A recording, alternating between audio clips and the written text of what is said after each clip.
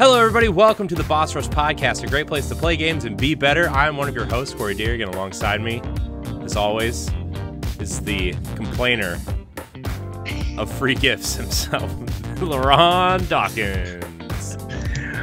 What's poppin'? Complaining about free gifts. Hmm.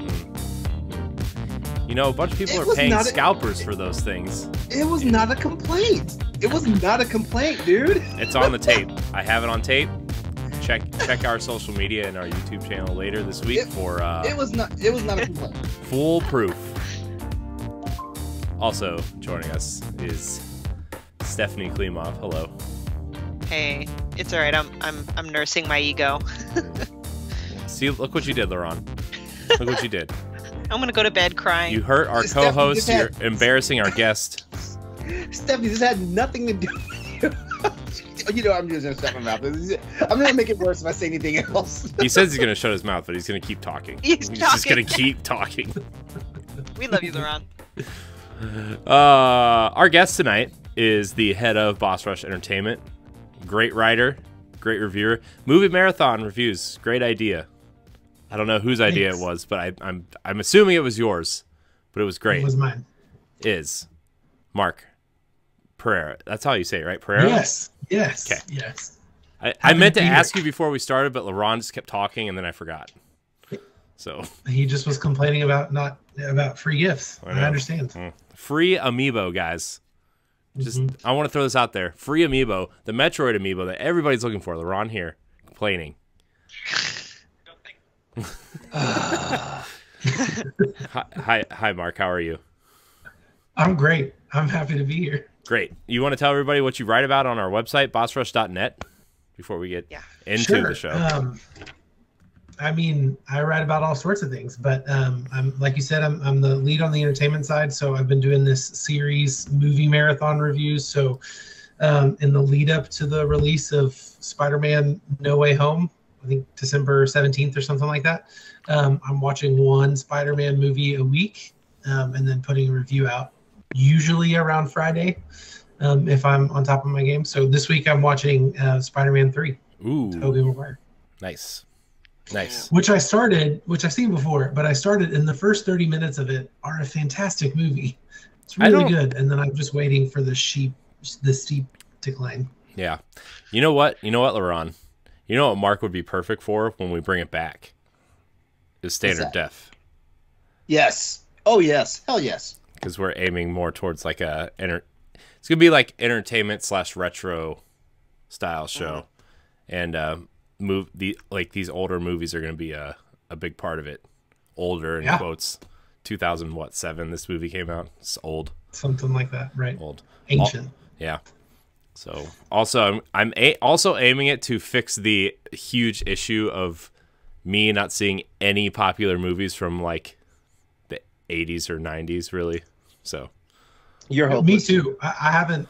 That's why I started these movie marathons for myself. Was Mm-hmm. I'd never seen an Indiana Jones film till the last year. So Hey, wait, wait, wait. Huh? look, What? it's it's Yeah. okay. Look, Mark, it's okay. I forgive you. thank you, Indiana Jones, thank you. Last Crusade, my third favorite movie of all time, but I will forgive you. Okay, because there are plenty Yeah. of movies that I've never seen. So You chose poorly. Wait, wait, wait. The number one Indiana Jones fan here in Boss Rush is actually giving you a pass. I, I, I feel, I feel Hmm. like, I feel like he has a brain tumor right now. There's something going on. I mean, I might. It's fine. It'll go away. All right, all right. It's like one I more- stepped into something more- I didn't realize I was stepping into. uh, uh, hold on, one more time for the people out there in, in in in the Twitch chat. That was not a complaint. I just voiced my disappointment. Hmm. Look, y- y- Look, y'all, here- y'all, here's y'all a- gonna be happy here's a- I get triggered tonight. Look, I'm gonna name five popular movies I, from the 80s and 90s I've never seen, and then we're gonna move on, and nobody's gonna say a word. Okay, LeRon, looking at you. Goonies, Karate Kid, Back to the Future, Alien, Hmm. and what was the other one? I forget. It's probably something Hey, popular. Alien was not in the 80s. I don't care. I, am just, I'm just You trying said to 80s and 90s, right? Just because just because you were Alien standing in line in 1975 when it came out, LeRon, doesn't Oh, mean wait a second. Oh, 1975 is when I came out. Uh, I- I- not that come out. Not that came out. I was gonna say. what is happening? This is what ha- this is what happens one. when Corey and I are on a show together. This is what happens. That was a good one though. Yeah. That was good though. Couldn't even timed it better if we wrote it. Yeah. See, this is why there's no pod doc. clip right there. That's all you need is that pod clip right Yeah, there. just that. Yeah. If I'm not mistaken, Ridley Scott's Alien came out in '79. I'm looking it up right now. Uh, yep, '79. mm.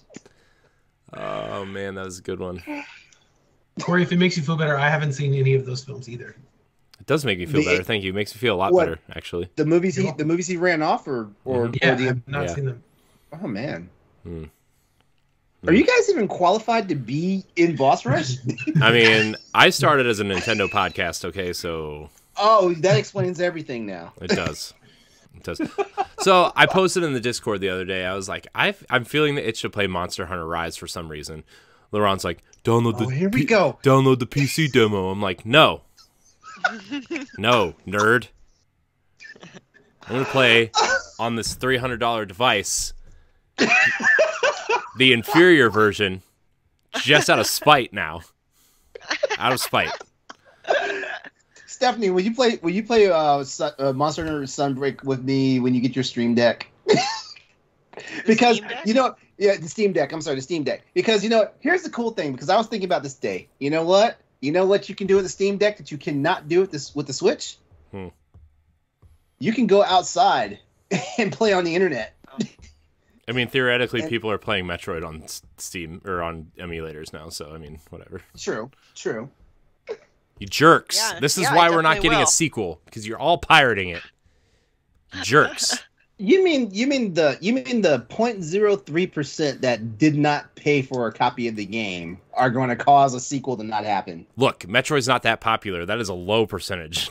You know what? You know, and by the way, by the way, because I it, it seems like I got into trouble a couple of weeks ago when I talked when I talked about the the hmm. the thing for emulation and stuff like that. I just want to make something very clear. Like I don't support software piracy. Just I don't. hold it. Hold it. That's a topic tonight. It's my Oh, is it? topic. Okay. It's my topic Oh, okay, tonight. cool, cool. So- yeah, I'll hold it. So Stop hold it. pirating the topic. Yeah, LeRon. Good one. Cheesy, cheesy. Yeah. It works though. It works. Everybody likes good cheese. Don't worry. Don't worry. I'll wait. I'll wait for us to get to that topic, then I'll just hijack the whole thing. That's fine. Mm. Anyways, good. anyways, Mark, I'm glad you're here. I'm Been glad uh, to be here. we you've been floating around our chat for about three or four weeks now, so uh, trying to get you on. So it's uh, it's finally Yeah. happened. You're hot celebrity. Yeah, Yes. people I want need to you. ride this high for as long as it lasts. You're like you're like James Bond. Finally. Great movie, by the way. I finally saw it. Great, So you liked it. I did. We can What talk do you think about. about? Okay, we're gonna talk about it. we're, okay. we're, we're gonna we're gonna get there. Uh, just want to just want to get the housekeeping out of the way. I'm gonna do it without reading anything. So if I mess up, it's LeRon's fault. He didn't make me a doc.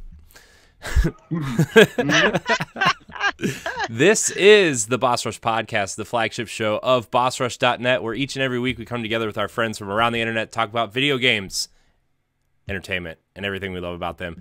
If you like what we do, you can check out BossRush.net for all of our shows, our content, our written reviews, and other things, other cool things. You can follow us on Twitter at Boss Rush Network. You can email the show at bossrushnetwork at gmail.com. And if you listen on iTunes, give us a five star rating and review. If you want to head on over to our YouTube channel, we'd appreciate that as well. Give us a subscribe. Unsubscribe to LeRon if you're there. Uh, the link is right there. Exodus 803. Anyways, we're going to jump into what we've been doing with our lives, what we've been playing, watching, doing. Mark, you're our guest. We're going to go your way first. What are you doing with your life? Uh, that's an excellent question. um, no, I mean I've been playing Metroid Dread, so I've never I've tried to like Metroid my whole life and have never liked Metroid. Sorry, um, it just wasn't for me. But Metroid Dread, everything clicked for me, and I love the game, but I am terrible at it. So I am Mm. slowly, slowly making my way through it. I feel your pain there. Um, and then I'm watching Spider-Man movies right now. I just started Spider-Man three today. Yeah, is it is it as bad as everybody says it is? And because I remember really liking it, except for like a couple times where Harry Osborn speaks, and it just is like really mm, cringy. the the first 30 minutes of it uh, which is as far as i've gotten are fantastic like the graphics are fantastic the story's fantastic the plot's really good it's really tight um like like tightly um, wound um so yeah I'm, I'm really enjoying it but i do remember there are some very cringy scenes um, Mm. later on but it's been it's been a minute since i've seen it so I remember. I remember it was a big deal when Topher Grace was cast as Venom because that Right. 70s show was big and he left that show to do movies and this was like his first big role outside of that show and I remember a lot of people not liking him as Eddie Brock, but I I don't remember because it's been so long since I've seen those Right. Movies. Yeah, he has he's shown up just a little bit, so I don't I don't quite know yet, but I've been enjoying it. And I've also been watching I mean I'm behind the times on this one, but I've been watching Squid Game. Hmm. Mm. I hear Um, it's I'm weird. on episode I'm on episode 4. It's pretty fantastic. So what's the deal with that show? What is it? I don't even know what it is. I just saw just saw people in PlayStation masks. That's all I've seen. Yeah. yeah. So it's a it's a um uh, people are competing to win an astronomical amount of money, um, and they're playing children's games to win the money, but um, you lose and you die Oh. is essentially the game. Hmm. There's a whole lot more to it than that, but and I don't think that that's a spoiler. I think that's pretty. I, I don't know. Yeah. I know it's probably a very bad generalization, but people have been trying to tell me it's kind of like like a Hunger Games, but Right. obviously not the same. But Right. but like but I I I'm, ve- I get very wary when people compare it to something else. But Yeah, it's. I mean, that's the biggest. That's the closest thing that I would compare it to is, is if you had to compare it to something, is it's Hunger Games, but it's it's very bizarre. Um, it's very um, tense, and um, there's like a you know there's a mystery going on, and there's it's it's just the characters are great, and it's it's not really like anything I've I've ever seen. So um, it's pretty good. Cool. Hunger Games, man. What a what a moment in time those movies were. Hmm. Yeah. And books and whatever else. Man. Wow. Cool. I was I was I was more of a Maze Runner person. oh yeah yeah I remember that. I uh I don't remember Maze Runner. I didn't see it, so I'm assuming it's like you run through a maze and you have to get through the maze or you die or something. That's what I'm assuming. Uh, kind of. That's kind of what the premise of the first movie was, but it was there was something a little bit darker going on. There's more than one? They made they made three movies. There was Oh, uh, if I'm, not, if. I'm not, if I'm not mistaken, there was four books, but there was three movies. Hmm. Yeah, I I- was I also I can't remember, but I did read the book. Sorry, that's all. I was also um, I was also big on the I am number four, even though that only got one movie. Hmm. Hmm. Yeah, it- I think that I think that whole book series has like nine books or something. Cool. Well, LeRon, since since you're already speaking, what are you doing with your life? Well, um, as you guys know, I just completed Metroid Dread, um, and I even wrote a review about it. Yes, I did. Um, uh, other than that, um, I kind of took I kind of took a little bit of time to deflate because Metroid Metroid dominated my dominated my existence for like a good solid week. so I kind of so I kind of took a break, which means uh, unfortunately no Dead Space streaming was happening. You know, while all that was going on, which I'll be back on that. Um, I promise. Uh, I promise. No matter what time, no matter when, I will beat all the games. Uh, even if that means it's no longer October. Uh, and then beyond that, just been um. Have you, uh, have you guys heard the uh, uh, the show Only Murders in the Building on Hulu? Yeah, my wife's watching it. Oh. Is that the one with the the? Mar- Has is that Martin Short? yeah, Yep, Steve Martin, Martin Short, and Selena Gomez. I almost I said wanna Steve re- Harvey. Who said Steve Harvey? I said I almost said Steve Harvey. Oh, Yeah, I want to get Hulu back just to watch that. yeah. Like it's like it's actually it's actually really good. Like I, I like I uh like I was watching it one night just on a just on a whim, like you know, just something to have on while I was like eating dinner or whatnot, and got and got hooked off that off the first episode. Nice. And yeah, so the finale the finale just happened last night, but um but I'm waiting I'm waiting for my boyfriend so we can watch it together. Hmm. Aw, Yeah. Aw. So cute. Yeah, hopefully he's not watching because, like the way I said that just now, makes it seem like it's his fault that I haven't watched the finale yet, and, and that's not it. That's would- not it. We just I would laugh just kinda- hysterically if he started watching it without you. oh that you know, there's always that possibility, you know. Uh, but we kind of made it a Friday. We kind of made it a Friday night thing, like a like like like a pizza and chill night, and and we watched two episodes. Man, pizza sounds good right now. Actually, I ate dinner at like four o'clock because I went and well, I'll get there. But I went and saw 007 with my dad today, and it's like our one of our things that we do every time a 007 movie comes out, we go see it. And we were afraid we weren't going to go get to see this one in theaters because, well, you know, COVID. But we did. and It was good. So, anyways, is that it, LeRon? Is- Is that all? Yeah, that's it. I've been pretty boring this week. Yeah. Well, this week. Uh, Stephanie, what are you what do you do with your life?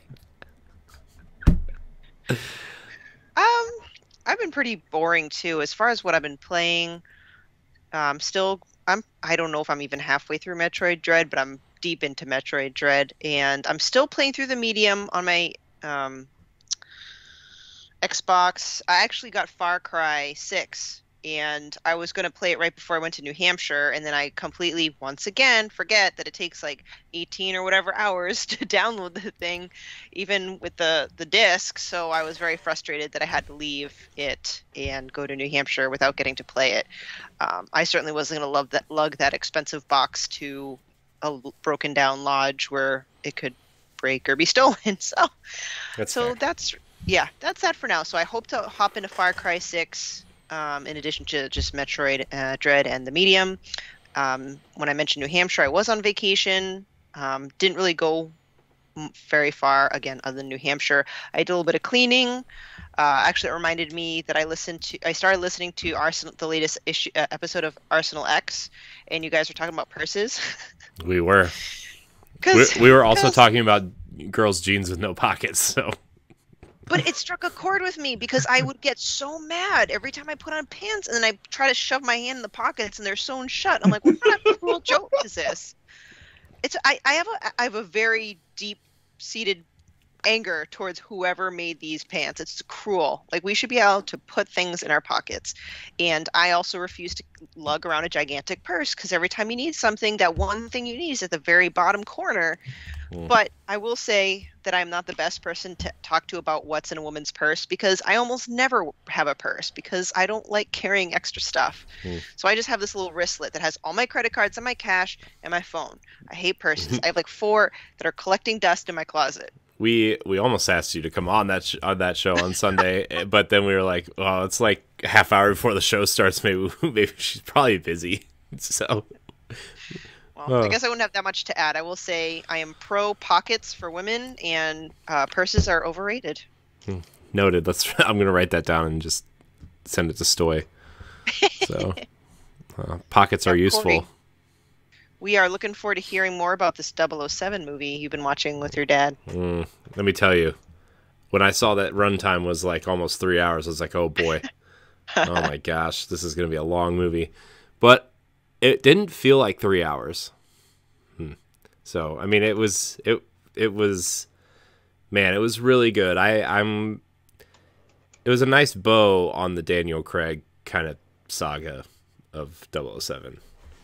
It uh it started out kind of slowish and i was like uh is this gonna be this the whole movie and then like obviously it opens up and it's just action action action scene like like what's happening here's what's happening here's what's happening also was really disappointed that ana de armas wasn't in it more like they kind of Yeah. promoted her as like one of the main characters in the movie and she was only in it for like 15 minutes Yep. I thought like when she, when they parted ways the first time, like, oh, she's gonna swing by around at the end, and Yeah. no, like never again. I'm like, what? What? Yeah, I thought she was gonna be secretly like a almost like another double O agent because I knew going in uh, who's the actress that the the black actress in the movie that I, I forget what her name is, but she's the new 007, right? Because Bond is retired in this movie, and uh, I thought she was gonna be like either her sidekick or like a, another double O or something. Like I I really thought that she was gonna be in it more, and she just she just wasn't. So, uh, but I I really loved it. I thought the whole storyline with uh, with Madeleine was a cool like twist to the you know the tried and true James Bond, you know, womanizing uh, kind of motif, you know, and uh, it was very good. I know we kind of talked about it a little bit pre-show, uh, Stephanie, last week, but Hmm. the ending was like, it was an I can't believe they did that ending. I Mhm. can't believe they did it. right? And there's no end credit scene. Yeah, that sounds like just wait to see the end. I would love to know what you think. I I didn't well didn't for the most part see it coming. It was pretty Yeah, shocking to me. I didn't Oh. see it coming either. I thought, I mean, I I don't want to spoil it, but I, I can't Y'all- believe that. y'all are about y'all about to make me. Yeah, y'all are tiptoeing very closely to. Yeah. All right, all right. We'll change real quick. I really liked um Rami Mal. Is it Malik or Malik? Am I? Or, or I think it's mispronouncing- Ram, I think it's Rami Malik. Yeah, Rami Malek. Yeah. He Yeah. made such a really a really great villain. He's so Mhm. creepy. I love it. Mm -hmm. So good. Yeah, and he was really good. I liked the whole angle of the kind of like silent kind of I can control you with the you know just you know it was it was really cool. It was it was man, it was such a good movie and like the Russian scientist guy really reminded me of Boris from Goldeneye in like a really fun Mhm. way. I was like, "Oh my gosh, this is awesome." He, if there was a new Yeah. 007 game, I'd be this guy because I was always Boris in double in Goldeneye. I was waiting for him to say I'm invincible, but he didn't say it. So it would have been a nice touch. Uh, but yeah, just like the the Aston Martin at the at the beginning, and just I, I love the car scenes. I think this one had probably the best car scenes in any of the Craig movies. Uh, it was just really good. I if if you're into action movies, I know like Bond is kind of like not what it used to be really in terms of like pop culture, right? But if you're into action movies, and Daniel Craig is probably my favorite Bond, I would say for for sure, especially this run of movies. Uh, I actually rewatched Skyfall and Spectre leading up to this movie, and it's just like a nice cohesive ending, you know, because like Casino Royale and Quantum of Solace kind of go together. I mean, they all they they all tell like an overarching story, but like you can clearly see that Casino Royale and Quantum of Solace go together, and then uh, Skyfall, Spectre, No Time to Die all go together, and it just it was really nice to see like a trilogy of films tell an overarching story, and really see Bond's kind of humanity come out. And I'm gonna be sad when the next Bond movie comes out and Daniel Craig is not Bond. I will say that. So very I'm excited to see it. My my dad and I have been watching rewatching the Daniel Craig movies. Um, we're actually this week gonna watch Spectre, and then we're gonna go see No Time to Die. So I'm I'm pumped to see it. I All kn- right. I know a lot of people didn't really care for Spectre. I love Spectre. I think Spectre is like one of the best Craig movies. Quantum Solace is the weakest, I would say for sure. For sure.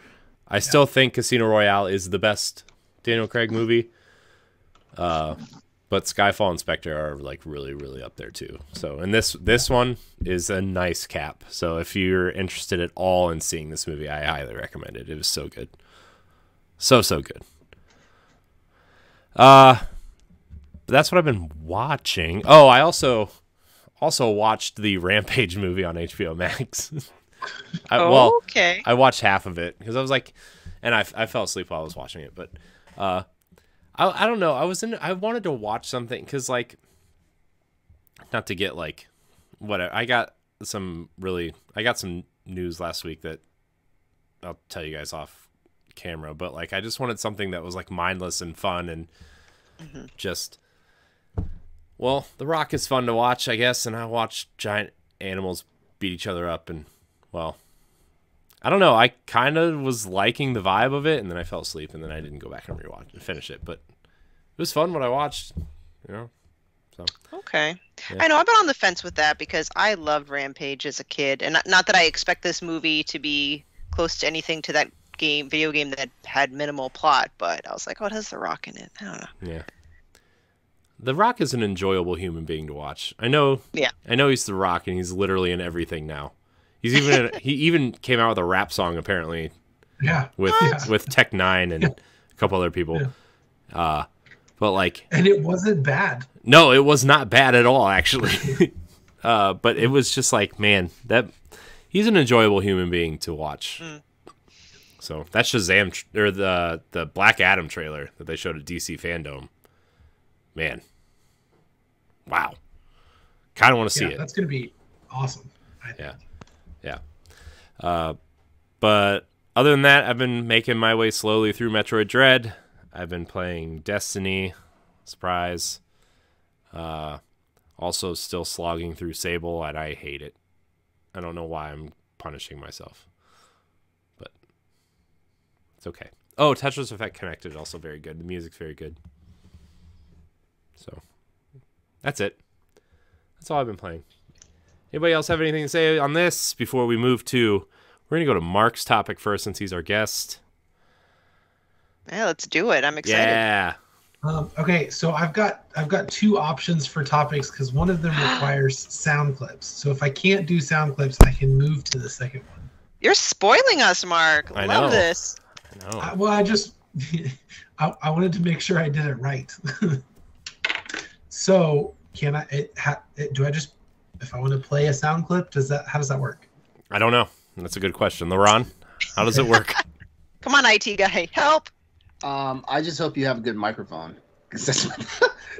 Okay, well then I'll then I'll do then I'll do the second one.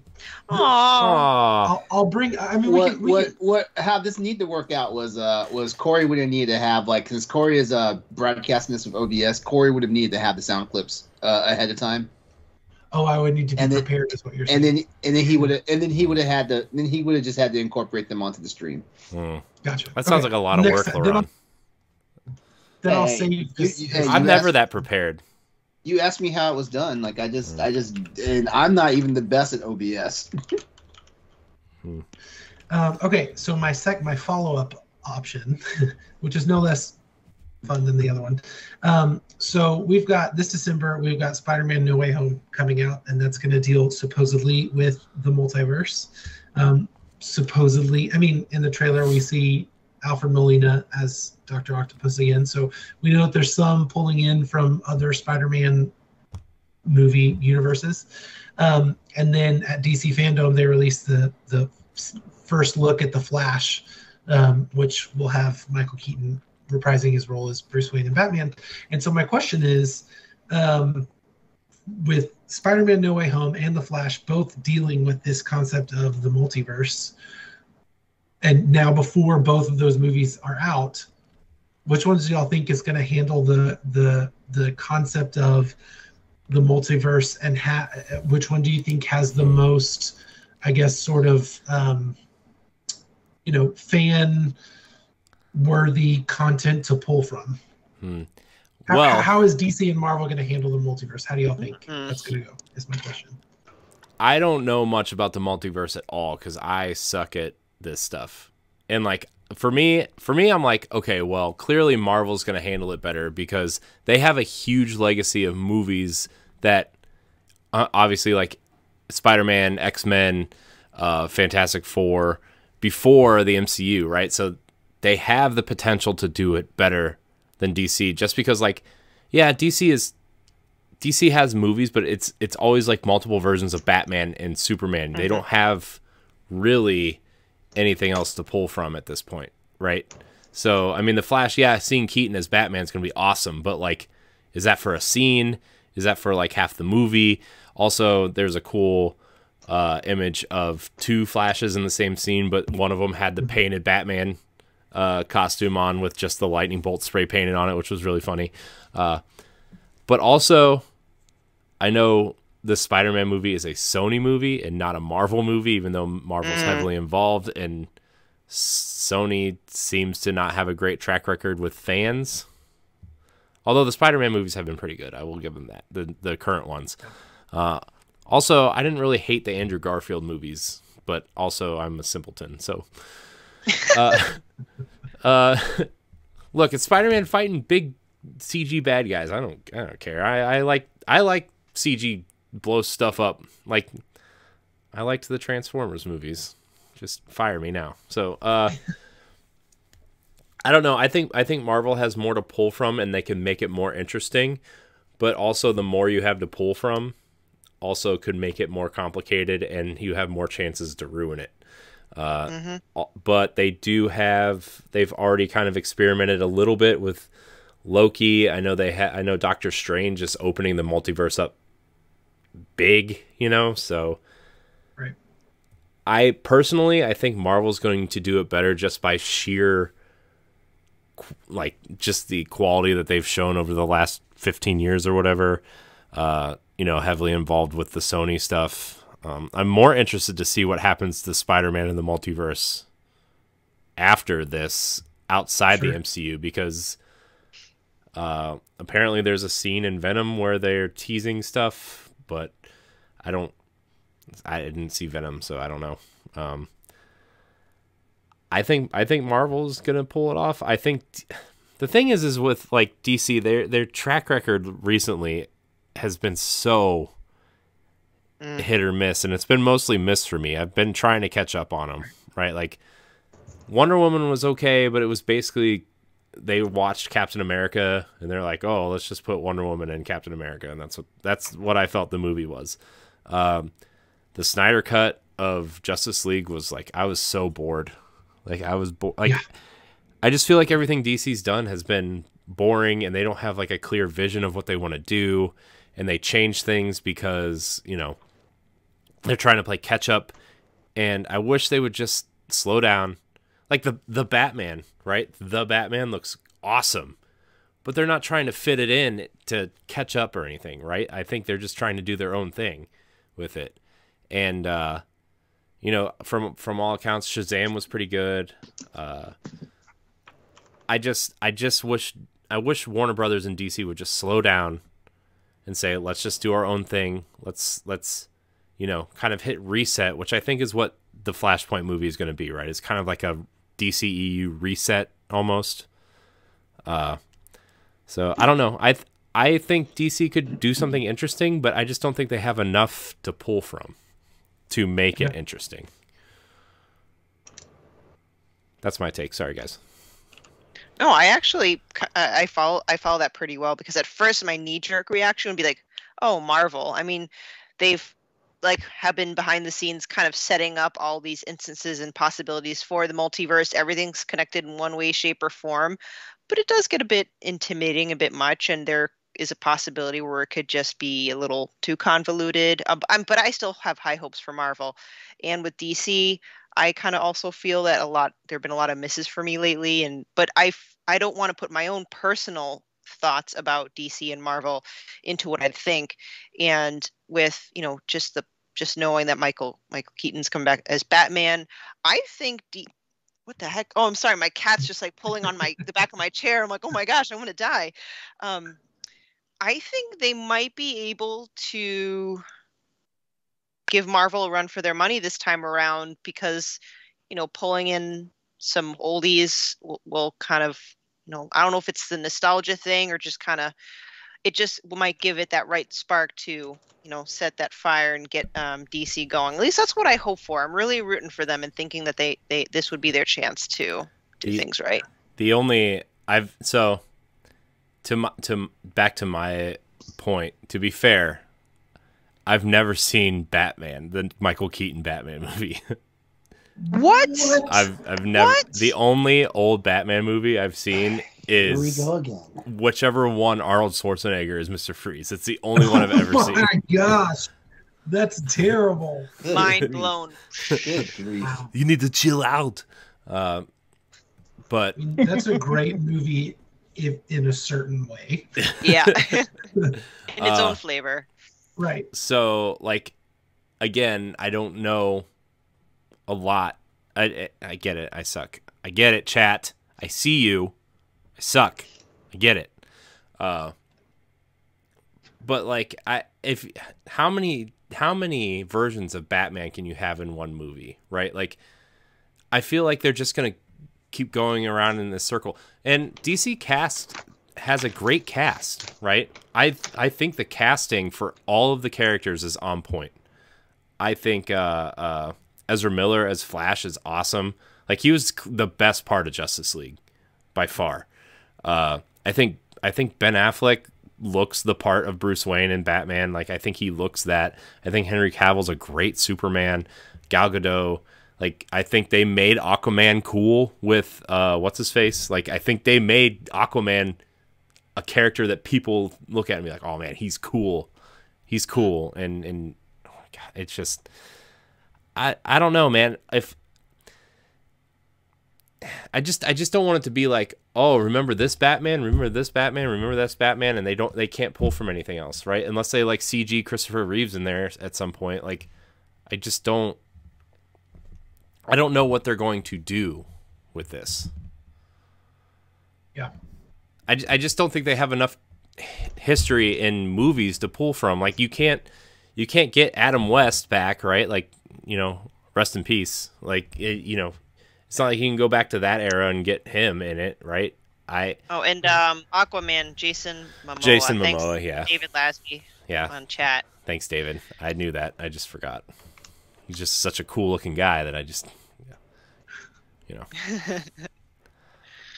Yeah, I think if you look at, I mean, so, um, sorry, Moran, I didn't give you a chance to, to answer. So, I'll, Oh, uh, okay. So my my take on this is um is DC may have an edge on this just because and and this is a and this is a reach though because like if you look at the DC television universe, they've already done this. And they and that's what I was what- just gonna say. I forgot Eh. about the TV stuff because they've done the TV stuff has done it really well.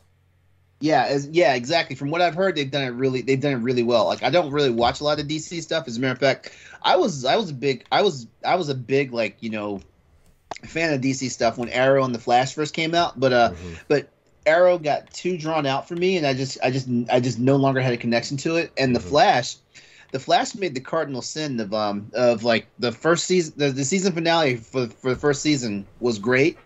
They start they start you off in the middle of they start you off on the season premiere the second uh, the second season in the middle of what was the season, and I was like, wait, huh? Like I, I'm one of those people. One of those people you cannot do that to me as a writer. You Mhm. cannot do that to me. You can't. You can't just. You can't just time skip and then don't even tell us that. Oh, we're gonna let you know how how it fixed itself from the finale, but you gotta wait. You know, uh, uh Hmm. no. So that immediately like killed it for me. And then you know, like, but going back to the whole thing, like, from everything I'd been told about, like the DC television uh, universe did a, a fantastic job of doing the multiverse because they had the Legends of Tomorrow series that kind of kicked the whole thing in, in, into um into high gear. Mhm. So I feel like I feel like if they I feel like if they do it correctly and they pay attention to what was done on the television side, they'll be all right. But we also know that they don't take the television side of things seriously because they did take the television side of things seriously, they would have cast some of those actors, you know, and put them in the Justice League. You know, that would have well, been easy. Ezra that Miller Ezra Miller did Right. show up in the Flash in the Oh, show. I know he did show. I know he did show up in the show. Yeah, I know that. But you know, he wasn't one. He's not a. He was not an, an original cast member. no, no, no, no, no, You know. no. I know. Yeah. mean. I just Yeah, but uh, but because man, like the fact that you had like practically every person that played Superman on the TV shows, like you know, in that whole in that whole like crossover event, that was Mhm. that was phenomenal. You know, even though like Dean Cain's a jackass, you know, but whatever. You know, um, but yeah, but you know, so in in my opinion, in my opinion, I think DC has the edge, but I have a funny feeling that Marvel is just gonna take it and run with it because yeah, like Loki is like the prime example. Loki is like the prime example, and the events of Avengers Endgame. Like Mm. those are those are prime examples of a whole multiverse theory thing because technically they kind of already did that multiverse theory thing starting with Endgame because like they they did that time travel stuff and we saw how things were unraveling. That scene where uh that scene where where uh where Bruce Banner goes to New York during the during the Chitauri incident and runs into runs into the uh uh was it the ancient one the ancient Mhm. one, right? yeah. And and she was like, no, this is this is what happens here. And then and then we saw we saw bits and pieces of that as the other Avengers were traveling in time. We saw what was going on and how the timeline was unraveling. And then Loki just took it to like it just he they just multiplied it times a hundred. Mhm. Yeah. So I have a funny feeling that Marvel. I have a funny feeling Marvel's gonna gonna be the one that that basically performs. Yeah. But DC, if they pay if Warner Brothers and DC, if they pay attention to the to the to stuff they've already done, they'll be all right. Yeah. and I think I think it'd be entertaining for everybody.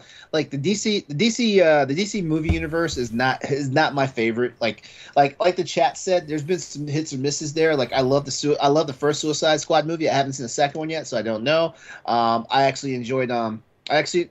Um, I actually enjoyed Man of Steel, even though I had questions about Man of Steel. Like, why does why does Krypton look like you know like prehistoric? Like, I I liked Man of Steel too, but Yeah, I liked it. I like uh I liked it, you know, um never never gave the Justice League a chance. I love the first Wonder Woman movie. The second one, ooh. I don't know if I just need to rewatch that and and and and come at it from a different angle because I I did not walk away from that movie enjoying it. I uh yeah. to your point, LeRon, I wonder if I wonder if Marvel opened the multiverse stuff up too quickly with Loki, right? They just like they didn't do like, oh, here's one thing, here's you know, here's two things. There's like seriously like you, you look at you if you watch the end of Loki and the timeline, just like you know, it's like a you know, just, just it's just everything. It's like it's like it's like it's like spilling a bag of marbles on the floor and Yeah. just watching them go everywhere. Yeah, and I wonder if that's going to cause problems later down the line. Or if they're just going to be like, look, here's what happened, whatever, we're going to tie it all up nice. No, because I because you know what they the way they the way they fix this is the way they fix this is just like how they fix an end game. It's time travel. Mm. Yeah. That's uh, honestly honestly when it comes to television and movies, that's your ultimate fixer right there. Time travel is your ultimate fixer. Like like have you ever watched an episode of a TV show like a sci-fi TV show and like the like the episode was like just going just going batshit crazy and you're like how are they going to resolve this by the end of it and then boom it's a time loop or something. Mhm. That's exactly how all this stuff is going to wrap up in the MCU. Because if it does, if, the only other way it can wrap up like that is divine intervention, and we're already seeing the Celestials are showing up. hmm Ah, yeah. Is that is that what the I think- Eternals is about? The Celestials? Uh, yeah. I don't. I'm lost now. Well, I mean, we've we already got a hint of the Celestials because um, uh, see, here's here's Guardian- my nerdism. Guardians about that. 2, I know, had. No, uh, Guardian. Guardians one though, like the that was the very first mention of Celestials because uh, when they go to that planet, uh, what was it called? Nowhere. Oh And it yeah, was- with that big. T- It was a it was it was a skull. Yeah. Yeah, and they, and they mentioned the Celestials right there, but no one really pays attention to that unless you know you're a comic book fan. And I was sitting there like, uh, you know, because like I have a big history in X Men, uh, in X Men comic books. Like I know for sure, like when you do something to a Celestial, like usually the rest of them show up. So I was actually shocked that we hadn't seen the Celestials at this up to this point. But they mur- they murdered one in Guardians 2, right? Like that that was, Was- Kurt Russell's was- character, right? Is Oh, is Ego? wa- Yeah. was Ego an actual Celestial? I can't remember. I think he said he was a celestial. Yeah. Okay, Yeah, I Okay. thought he said he was. Oh, see, so Hmm. basically, basically, Marvel's not Marvel. Didn't the Marvel MCU didn't pay attention to the to the comic book rules because usually, Mm. usually when a Celestial is is killed or gravely injured, like uh like the rest of them show up and they basically like equalize everything. Well, maybe they're just really far away. And now they're Yeah. coming. Maybe- they're just maybe- now getting here. They're Nah, on their way. that's nah that that's not tr- that's not true because Space they travel. Almost, they almost they almost um because uh because because we find out in one of the X Men comics that Apocalypse is actually is actually a um a Celestial. hmm and um and young Thor in a drunken stupor, like like you know with the with the axe, like basically almost cleaved them in half and stuff. And the Celestials showed up and they almost put the world into another prehistoric ice age. Maybe no one liked Ego. He was kind of a jerk. Also, Yeah, Ego, true, Ego yeah. is Cyclops' dad in one of the comic runs, not Peter Quill. Just want to throw that out there. Huh. They kind of they kind of screwed that up. I know Peter they Quill was act- so yeah, my, my, my, my vote is my vote is like Marvel has Marvel has the edge, but DC might surprise them. hmm Yeah, I think I think DC is going to come out the winner because I feel like the DC movies of late have been so all over the place. But there was a time when DC movies were really good, and Yeah. yes, it's just Batman and Superman. But I mean, can you imagine? You know, I, I think Marvel's going to do like scattershot, like like you know, Tobey Maguire and Andrew Garfield and Hugh Jackman and you know um, Patrick Stewart and just like have like all of these people. Mhm. I have a feeling that they're going to do that. And it's just going to be a lot, and that's going to be really cool. But it's going to be quick little cameos, hmm and I well, feel like DC is going to pick really intentional a couple of callbacks to other DC films, but have them be in larger roles. Mm-hmm. This is just my hunch. And so, like, you've got Michael Keaton, who's rumored to be not just a big part of the Flash, but like a big part of the DC universe moving forward. Um, and so, I think it's gonna. I think I think DC is gonna surprise us by focusing on a few quality cameos and tiebacks to when they used to be good. I mean, which could which is if- which is how I think they get fans' trust back. Right, is making you know Sure. make these cameos matter. Give us a few quality movies to build Right. that trust back. Right, because like I mean, like I said before, like they're trying to play catch up. Well, they don't need to play catch up. They just need to do their own thing. And I think this is the way that they earn people's trust back. Like, okay, if Michael Keaton's going to be a big part of the DCEU moving forward, or at least like you know a bigger part of it, does that mean we get a Batman Beyond movie, which would be cool? right. Or Right. Uh, and and you don't to, to you don't even need to have i mean I, I get the point that there's so many batman and, and superman movies or whatever that's really all that they have to pull from but imagine like you know in the in the batman begins dark knight dark knight rises cillian murphy's scarecrow shows up in every movie imagine if cillian murphy is in the flash Mhm. as scarecrow and so all that does is it ties the dceu to the most successful iteration of batman who everyone loves. And then it's just like, hey, yeah, we've got crap films now, but remember when we made really great ones? Well, now they're all part of the same Mhm. story. Mhm. And so now all of a sudden it's like they're not playing catch up. They've caught up because they've been doing it for years. mhm, They just are Yeah. now, it's all the same thing. mhm. I was just thinking about something while while you were talking, Mark. Uh, you know, what if they use this to actually like bring cohesion to the entire universe? Like, what if they use this as the center point and everything going Yep. forward is like that? What if this is finally their way to actually fix what's wrong with the DC movie universe? Yeah, Yeah, get rid of what doesn't work and keep what does, right? So at the end of the whatever the stakes are for Flashpoint, at the end of it, you've got a universe where, you know, Margot Robbie's Harley Quinn exists, but not some of the other bad stuff from the Suicide Squad that didn't really work. Or Yeah. you've got a universe where, you know, there is a Batman, but it's not necessarily Ben Affleck, it's Michael Keaton because that one worked and Ben Mhm. Affleck's didn't work Mhm. where Henry Cavill can continue to be Superman, and you get rid of the movie where he's killing people, right? Which is not in character. So it's a really great way to retcon a lot of the mistakes that they've made. Wait, wait. There was a movie. There was a movie where he was killing people. Didn't he kill Zod? Man he he Well, then no. Well, well, that was he, well, just that didn't was that care was about collateral damage in that. yeah. Well, that was a um.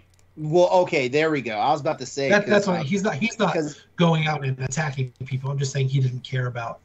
yeah, because because yeah, like um, like he was kind of maneuvered into killing Zod. Yes, yes. Uh, Let me rephrase what I said. He he accidentally is killing people, but that's not Yeah. the comic book Superman. I mean, he's he's supposed to be, you know, protecting people. So anyway, it could be. I think DC has a has a chance to finally get in the same leagues as Marvel. Yeah, I hope so. Um, just because, like, don't get me wrong, I enjoy the Marvel Cinematic Universe, but like, like I, I told my dad today after we watched Bond, it was like it was so nice to just watch something that wasn't like Marvel's bleeding all my eyeballs. You know what I mean? Like, I, it's just like we watched something that wasn't superhero-y or just I don't know. I and I- I'm a Disney fan. Like I'm a big Disney fan. I'm a big Marvel fan. I just sometimes I just need a break, you know. And Yeah, didn't we talk about bring up Marvel and franchise fatigue? yeah, that was last Yep. week. Yeah, we did, and it's just like, man, it was so nice to see something, and like I would like to see. I I would really like to see a good DC movie because like I feel like what DC's done in the past, it's a little bit more grounded. It's a little bit more realistic. Like I feel like the Dark Knight movies are like prime example of what I would want from Batman moving forward, right? And that's what the Ba- that's what the Batman looks like at this point, right? Is like, oh, it looks like a little bit more grounded. It's a different version of Gotham. You know, the Riddler is scary. You know what I mean? Like that's kind of what I want. Right. So, but then I also want to look at the Flash and be like, oh, this is clearly probably going to be their version of Spider-Man. He's going to be fun. He's going to have, you know, one-liners. Uh, you know, just really dumb fun. So, I don't know what I want. Basically, what I'm saying. I'm a simpleton. That's what I said. So. that was a good topic. I enjoyed it. Yeah, that was yeah, awesome. it was. Thanks. You need to come back um, sometime soon so we can do the one that involves sound clips because I'm very interested in what Yeah. that was. Yeah, I was excited about that. I mean, it's super nerdy, but um, That's what we're here for. We're See, that's what I'm talking about. right. So I was excited about it. So Hmm. I'll be more prepared next time. Guess we got to invite him back, guys. Darn. Uh, Mm. Oh, right. Oh, I don't want to presume. How dare you, sir? How rude of me. How rude. Uh, Stephanie, what's your topic? Uh, nothing, you know, too exciting, but I was thinking about this um, when I was perusing through Game Pass, which I guess I'm not sure that really counts, but I want to talk a little bit about double dipping uh, with games. Maybe not movies so much, so maybe I'll stick with just what I know with video games. Um, I came from a time where I really could only afford maybe just one game a year, and I don't know what happened. It's not like I'm making more money, but um, you know, as my the number of my systems expand, uh, number of systems or consoles expanded, and you know, certain games I want physical copies of. Like my copy of Metroid Dread was supposed to arrive on release day, and for whatever reason, Target delivered it late, and I was this close to buying, you know, The digital. um, e-copy the digital copy and maybe just like i don't know keep the physical copy sealed i don't know. Um, and again i know it's not uh, double dipping per se but there are plenty of games where maybe i bought on the switch or even my ps4 and then i hop on game pass when i got my xbox and i'm like oh it was there. Maybe i should but anyway so i'm kind of babbling uh, to start off this topic but i'd like to know like have you guys double dipped with games? Was it intentional or accidental and is there a benefit to having maybe a digital and physical obviously not all the time because that's costs more money but you know I see. I just see Monster Hunter r- running across LeRon's face right now. yes. Yeah. Okay. So yeah, um, I pretty much bought. Uh, up until a certain point, I pretty much well, shit. Actually, currently, I bought multiple copies of the same Monster Hunter game across different platforms. But there was a time when there was a time when if I bought if I bought the Monster Hunter game, like it usually got bought again, you know, for a different platform. And for a good little while, basically when it was just only on Nintendo D- uh, DS, that was the only time I didn't double dip. But we're double dipping again because PS4 and the Xbox One version of Monster Hunter World came out, and I bought the PC version. Uh, but then, of course, I stayed on the PC version. Monster Hunter Rise is out on the Switch right now. PC version's coming. I will buy it one more time, you know, and but I will continue to play it just on the PC and stuff like that. But yeah, I am, I am one of those people. Like I have doubled and triple dipped. Um, remember, remember, remember a little game called Street Fighter Alpha. Hmm. I've bought Alpha 2 and Alpha 3 so many times across different platforms. Uh, I am almost ashamed to admit, you know, that, you know, like I was stupid and spent money like that. But, you know, uh, the, the thing was back when, like, for example, when Street Fighter Alpha was a popular game, you had different consoles that had different degrees of power.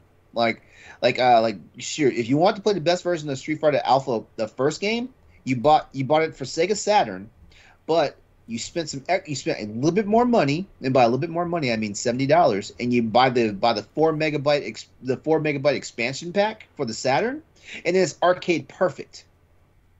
It- yeah. So i was doing i was doing dumb stuff like that. I was actually importing games from from japan because they were the more superior version and it will even though i already had the us version of the game and stuff like that yeah i double dip I double dip like a madman. As a matter of fact, I already said I'm buying a physical copy of Metroid Dread real soon because I because I just want to have the box art and all that stuff. Box art is cool. Yeah. Yeah.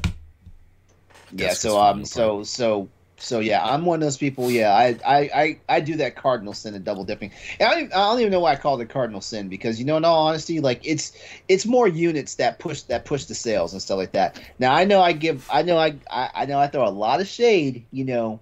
For guys who have like four Nintendo Switches, I know two people that do that personally, not not just people on Boss Rush, but I know two people in real life that actually have four Switches, and I was like, dude, like it, this is excessive. You don't even have a wife and kids. Why do you have this many Nintendo Switches?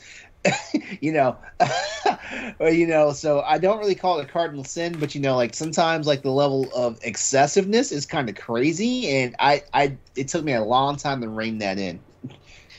Yeah, yeah. I think for me, if there um, the two main reasons for me to want to get an extra copy is if there's something with exceptional box art, or I feel like I don't know might hold some value. Uh, maybe less so for that. Also, if I already have the existing game, and I hate to say like on the Switch or something, but then I know the game's coming out on Xbox. Just making it up, I will probably be like, I love you, Mhm. Switch, but I might want, depending on the game, I, Hmm. I don't know. But then I'd have to start the game all over. So, but anyway, That's that's one of the things that actually got me out of that habit of doing it. I got tired of starting over again. You know, Yeah. some games some games you absolutely have no problem starting over, and there's other games is like, why did I just do this? Yeah, there's a there's a lot of I mean a lot of games now are starting to do like the cross save stuff, and I know Monster Hunter is not one of them. Sorry, LeRon. Uh, Oh yeah. Oh But- oh oh you oh you just don't know. Like I've actually got a whole bunch of ammunition because I'm getting ready to write. I'm getting ready to write uh, everything we know about Monster Hunter Rise and Sunbreak real Mm-hmm. soon here. Yeah. Uh, so for me, like Destiny was a big one because they didn't have crossplay or cross save, and I ha- I have Destiny two for three different platforms, and uh, because that's just where my friends were, right? Like uh, if I want to play with my PlayStation friends, I have to play on PlayStation. But now with the cross save and cross play activated and stuff, like I can play anywhere right now. I can even play on my Mhm. phone at this point. It's so nice. Isn't get- that so nice? It is. I can play on Stadia if I wanted to. Not that anybody is, but uh so I mean Destiny was a big one, but also like a lot of the times Stephanie you brought up Game Pass and a lot of times I will download a game on Game Pass and play it, especially indie games, and if I like the indie games, I will turn around and buy it on Switch just to support the developer and uh, take it with me on the go because I mean the, yeah, cloud gaming is cool and stuff, but like still not where you know you really want it to be at this point. Uh, and so the Switch having it downloaded on my Switch is a way better experience than trying to hook a computer or hook up a, a controller up to my phone and trying to play it that way. Uh, but I I've also double dipped a lot on other games because like I mean it's a different situation. I know not everybody's in this situation, but uh, obviously when Ed and I started Pal Block, we were playing a lot of games on Nintendo consoles that maybe weren't the best place to play third party games, and some would argue may, might still not be. Uh, but I played games like I double dipped on games like Watch Dogs and uh, what other games? Oh, like Assassin's Creed and Batman and like all these games on the Wii U, and then I started double dipping on games like Doom and Wolfenstein and stuff on Switch, uh, just because we were trying to cover Switch games and stuff and Wii U games on PAL Block, and uh, obviously not the best versions of Doom and Wolfenstein by any stretch, uh, but yeah, I, I found myself double dipping stuff just for the convenience of portability and uh, supporting indie devs and that's where I find double dip double dipping. Uh, also, my entire Switch library is is digital, but I do have physical copies of all the all the Zelda games and Xenoblade games and just games that I like in general on Switch. So I do double dip quite a bit, actually.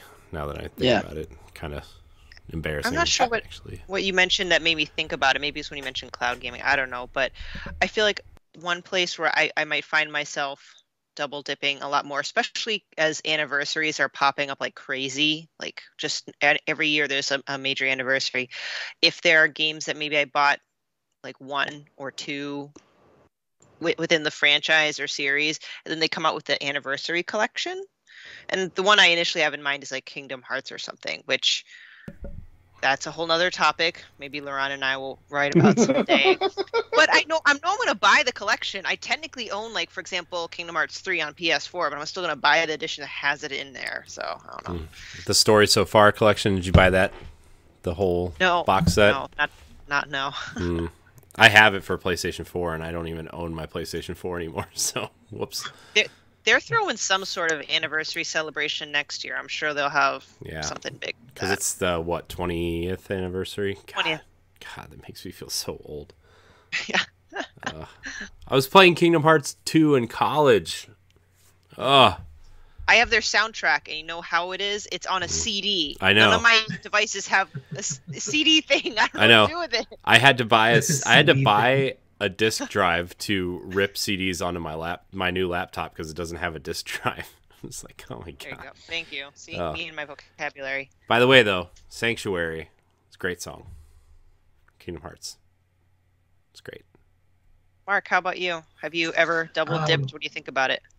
I mean, I'm a Nintendo fan, and I think Nintendo's one of the pillars of their business strategy is Making you buy everything Yeah, all over again. and over Yeah. again. and I gladly will every single time, um, because I just love uh, the Nintendo games that I love. But but short of that, um, I'm not a huge double dipper, not by principle, just by I typically will get the game in what what plat. I, I don't care so much about like graphical fidelity or or you know frame rate or anything like that. Like if if you know Hades came out on Switch first, so I played it on Switch. I don't care that it's on anything else now because I played it on Switch and that's where I played it. And so um, now when it comes to like movie, I, I'm a physical um, media person. It's very difficult for me to like. Um, I have an Xbox Series X, and that was a very difficult decision for me to make. Series S because it's just digital, right? Um, but and so when it comes to movies and stuff, I like to own movies on DVD and Blu-ray. Um, but movie, like I'm a huge Batman fan, and so I own all of you know every Batman movie on Blu-ray and DVD Hmm. um, because you know I want to whatever the situation I want. If I want to watch it, I want to be able to watch it, and so I own those digitally. I own them physically on on Blu-ray and, and DVD. Um, but for games, I'm not that. I'm not that. Whatever it comes out on, if I want to play the game, I typically want to play it when it comes out, and I get it on whatever platform it's on. And for me, I don't know. People might disagree with this.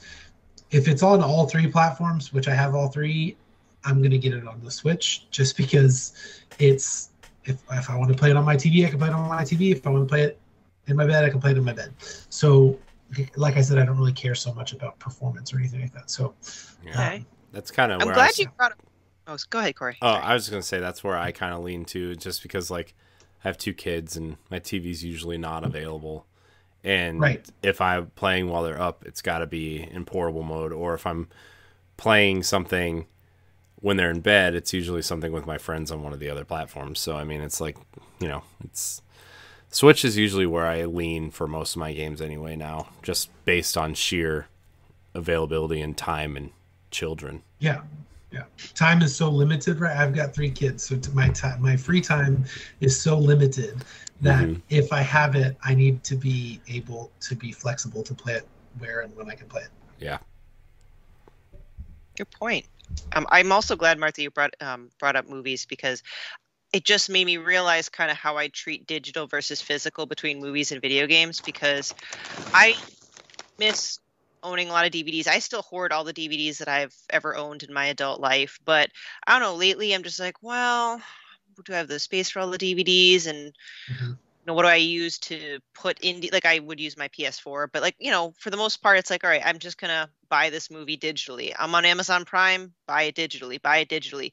But when I'm playing my video games I mean I have uh, trust me I have a library backlog full of um, digital games but I actually favor physical copies more. Um, and I'm not sure why now because I used to favor physical copies of movies and I just got so used to just purchasing digitally. I'm almost kind of like, ooh, I wonder if the same thing's going to happen to me to video games someday. Right. Um, Right. I feel like digital is like is like um is like the most dangerous place to like get all your games. I really do, because I feel like you can wind up you can wind up basically like filling your entire library up with games and then never having any time to play them because like you don't have any you don't have them just sitting there looking at you on like a shelf or something. Hey, that's very legit. My Nintendo Switch library looks scary, and that's because I'm in that eShop buying all these games that are on sale. I'm like, oh, just one more, and oh, just one more.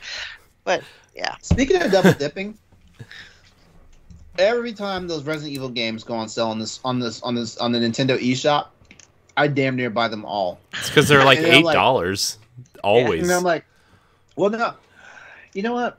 It's crazy because like games from games from a certain generate from a certain era of uh, of gaming, the the PS2, the the GameCube era, the Dreamcast era, and stuff like that. For some strange reason, like I feel like those are the best games to have in a portable in a portable environment. Like Mhm. like God when. I mean, you know, like certain games come out, like what, like for those Resident Evil games are an example. I'm trying to think of one that I know I have that I that I really. These Kingdom Hearts games, for example, like Mm. I'm not I'm not the big I don't have the biggest love for Kingdom Hearts anymore right now, but there's a good but there's a piece of me that wants to play Kingdom Hearts 1 and 2 on in portable format. Yeah, well, that cloud, that cloud stuff, like it works. When it works, it's That- great. Because like I, so quick story on the Switch cloud gaming stuff. I played a little bit of Control on Switch when it first came out because like they released like an hour demo, and like it played great, like sixty frames a second. Uh, you know, it, it was really responsive until it wasn't, and then it just, you know, just just flat out almost died on me. And then it, then it came back and it was fine. But like that's what you're gonna get with this cloud gaming stuff. And that's why i'm just still like really sketchy about it you know?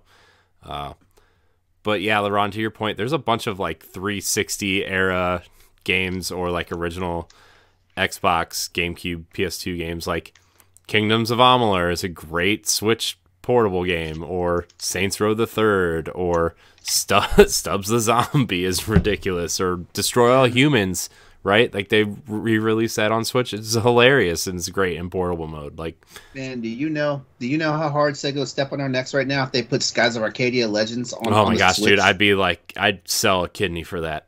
It, I mean, I mean, I would have to like, God, I might. It was funny. The other- was it today or yesterday? So I bought I bought a few things on Switch, right? Like I bought Metroid, and then uh, Tetris Effect was on sale, and then I bought the final Smash Fighter Pack.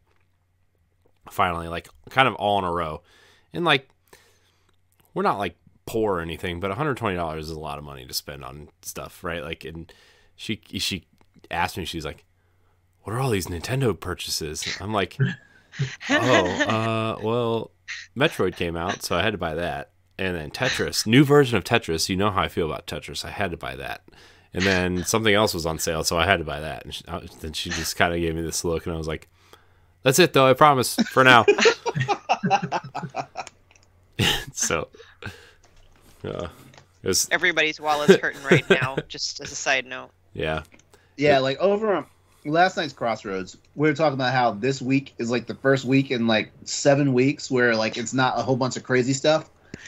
Yeah. And then, and so I'm sitting there thinking I do like our audience a PSA by saying, hey, like now's a good time to not pay full price for a bunch of games because there's a good sale going on in the PlayStation Store till the 27th. hmm Ooh. Okay. Frickin', frickin' Chris, freaking Chris, like this morning, this morning in the chat, he's like, he's like, yeah, I bought, I bought these games. He lists off seven games from this, from this, from the, from the PlayStation sale, and I was like, I was like, dude, you have a problem because you, because like in Chris like, has been like, hanging out one, with Ed for too long. yeah, in like one sense, he's like, my wife's gonna kill, my wife's gonna kill me if I buy any more games. And then the next day after a podcast, he's like, and this is Chris has been on the show for officially for four weeks. Every week after the every week, the next day after the show, oh, I went and bought this, this, and that, and I was like, dude, like, like Hannah's gonna murder you. I think the only reason why she's keeping you alive right now is because she does not know how like she's going to be able to provide for y'all's son if she murders you. But you need to chill. I got a I got an email today saying that there's over 200 games on sale on Xbox right now, also, and I was like, Stop telling me this. "Hey, Stephan- Stephanie, there's over 200 plus games on sale for on Xbox right now. Play, including PlayStation's Assassin's Creed Odyssey, which is like 15 bucks right now. Great game. PlayStation's Halloween sale just just started, and that's on top of the sale that's happening through the 27th. I'm already shopping. I can send you the uh, pure Xbox link if you want, Stephanie, to show you which of the best games Stop are on sale. Everybody stop. Oh, I'm about to, oh I'm about to throw the sale link uh, for the for the Halloween sale into the Y'all are chat. horrible.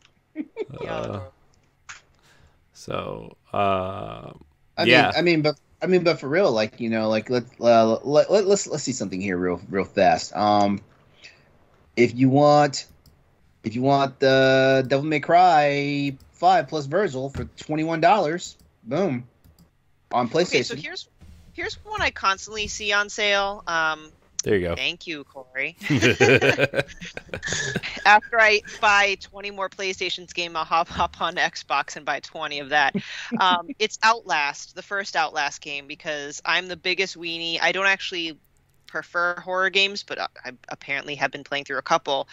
But I watched a Let's Play of Outlast, and I'm still terrified. But it's like on sale for four bucks. I'm like, come on, Steph, you could do it for four right? bucks. Right? Mm. No, no I spoopy don't know. games are worth four dollars. I Pass. know. I, I don't know if I can. Pass.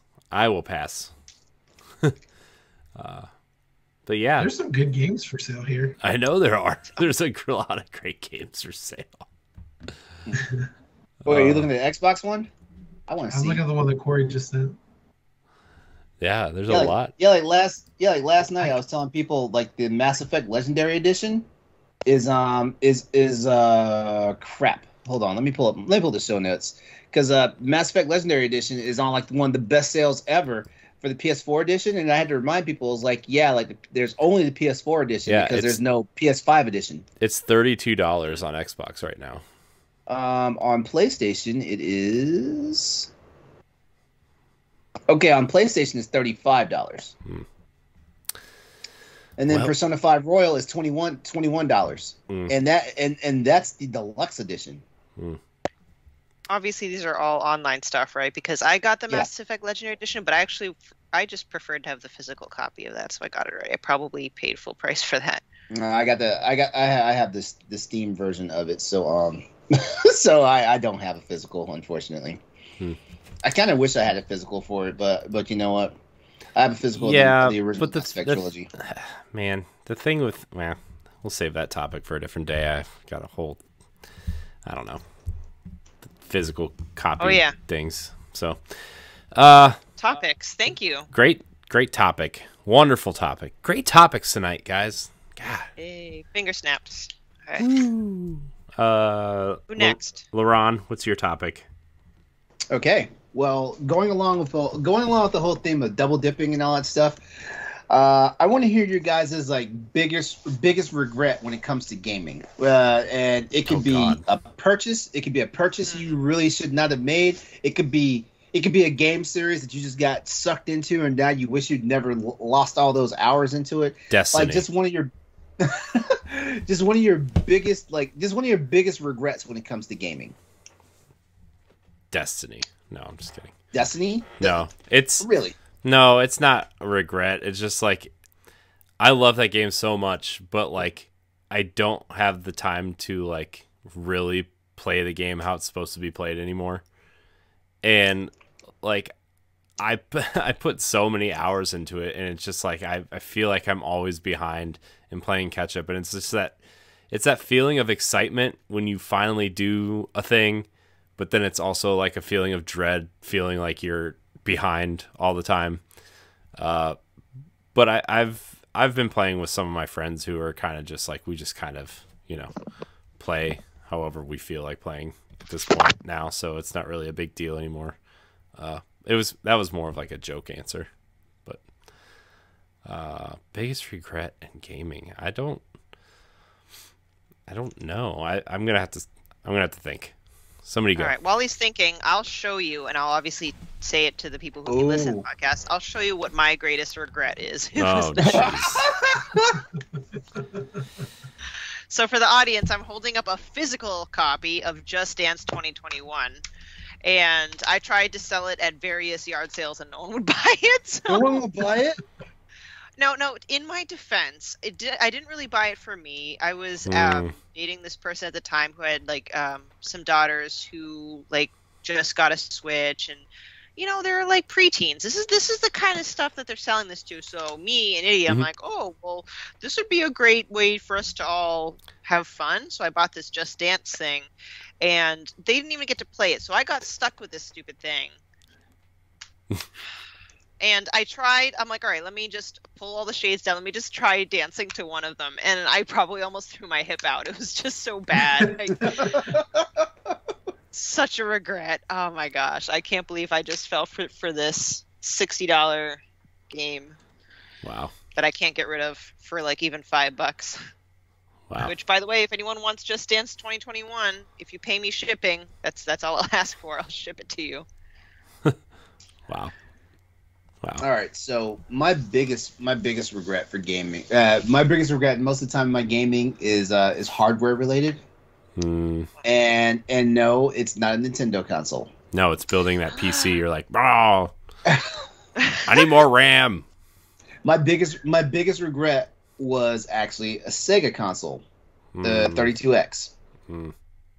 Yeah. uh, because like I honestly got sold on the fact that it was going to like upgrade the existing games I had, and that the games that were released for it were going to be well, the games that uh, I think only like nine games got released for it.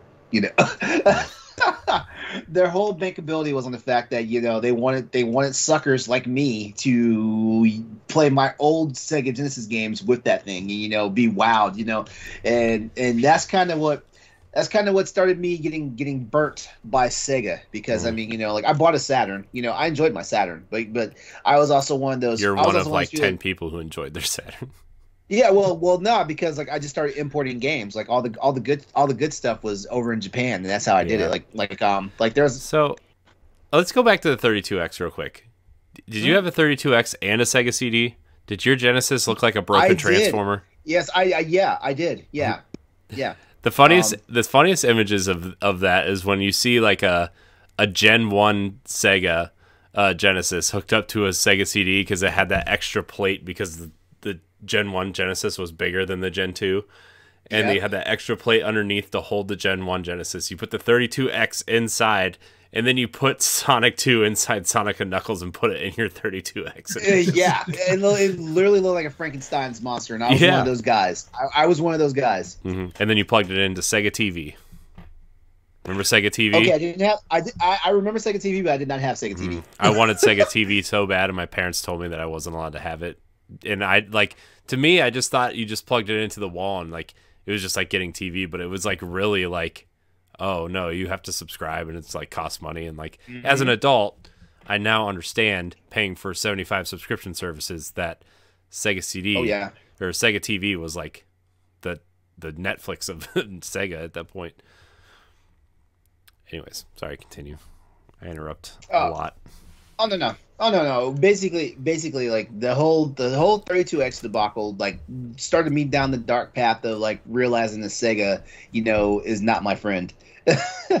and Hmm. and and so even though I did shed some real tears when when Sega was like we're getting out of the hardware business, you know, after the Dreamcast because the Dreamcast I still feel like the Dreamcast was their greatest their greatest success in Mhm. the hardware business. Oh, yeah. uh, but at the same but at the same time, I was like, you know what? At least now Sega can't like like like pull a fast one on me anymore with their with their hardware. I wish, man, I wish there would be like a Dreamcast collection on on the current platforms because like I I miss Jet Set, uh, Jet Grind Radio. I miss, you know, I mean I know like they re-released Shenmue. I don't really miss those games, but like Sonic Adventure and stuff was cool and just I played the crap out of my Dreamcast, man. Dreamcast was was awesome. Yeah. Rip Sega. Except now Sega is actually more successful than ever, apparently. So, Oh yeah, for real, yeah. especially with like the Atlus, because they own Atlus, so like Persona and Shin Megami Tensei, and you know Yakuza's doing well, and Sonic exists still. So,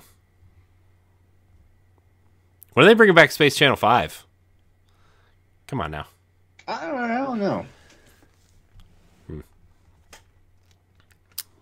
Is it my turn? Who's turn? Is it my? Is, am I the only one that didn't go? Mark didn't Oh go. no, I haven't gone. Mark didn't Mark, go. yeah. Mark, you go. Yeah, my uh, my biggest gaming regret regret is also hardware related, but it's any time that I sold a console to buy Ah. something Mhm. else. Yeah. Because now, as I'm a little bit older than I was, as humans are prone to do, I want to have all of the consoles that I've had before, and so I've been slowly collecting them through the years, and I feel like that's getting more and more popular to do, and so they're getting more and more expensive. Mhm. Um, and so I had to rebuy my Nintendo 64. I had to, you know, I still haven't rebought a, a Super NES. I had to rebuy my GameCube. Um, and so I just keep your consoles, even Yeah. if you don't play them right now. Keep them because can you, will someday. yeah. Yeah. Uh, the only the only Nintendo console I've ever gotten rid of was the Virtual Boy. I still have all of my console, all my Nintendo consoles. I still have, uh, except for my launch Wii, but that's because I was I was in an apartment fire and lost my original launch Wii. But everything else I have, like all the original stuff that I got, I still have, and I'm very grateful I never got rid of my Nintendo consoles. Now the other consoles I got rid of, and you know, obviously, like with most of the consoles being backwards compatible now, at least with the previous generation, like there's no, not really any hardware reason. It's more nostalgia reasons. But like, you know, the only other consoles I have besides all my Nintendo consoles, I have a slim PS2 that I kept. I have a, I have my Xbox 360, and I have my Genesis and my Dreamcast. Those are the other consoles that I have, and it's, you know, I'm really happy I never got rid of my Nintendo consoles because those things are, uh, they're, they're a pretty penny to get them back. Yeah, yeah, for sure. Yeah, I uh sold I, I sold my Game Boy Color and I, I, I kind of regret it. I also regret selling a lot of my N64 games back to GameStop back in the day to like trade up, but you get such a crappy deal on them. hmm And one of them at the time, I think it was well Jet Force Gemini. I wish I still kept that. Like, why would I do that? That's a rare game. Um, also Star Fox 64. So I ended up rebuying that because I don't know what I was thinking back then. I was just needed money for the next game, so it's Uh, a good one, Mark. Jet Force. Gemini is on Xbox on Rare Replay. No, yeah, I yeah. I was just In case you're nostalgic for, you know, seven frames a second and you know terrible horrible controls. camera angles. Yeah. um. Yeah, I think my biggest gaming regret is getting rid of, like, I mean, I did it because you know you, sometimes you just fall into hard situations and you need money and stuff. But like, uh, when I got rid of my almost my entire PS2, Xbox, and GameCube collections of games. Uh, I had se- I've since got most of my GameCube collection back just because that's the console I cared about the most. Uh, but yeah, it's just it was like man, I probably had like probably fifty or sixty GameCube games, and I just got rid of almost all of them.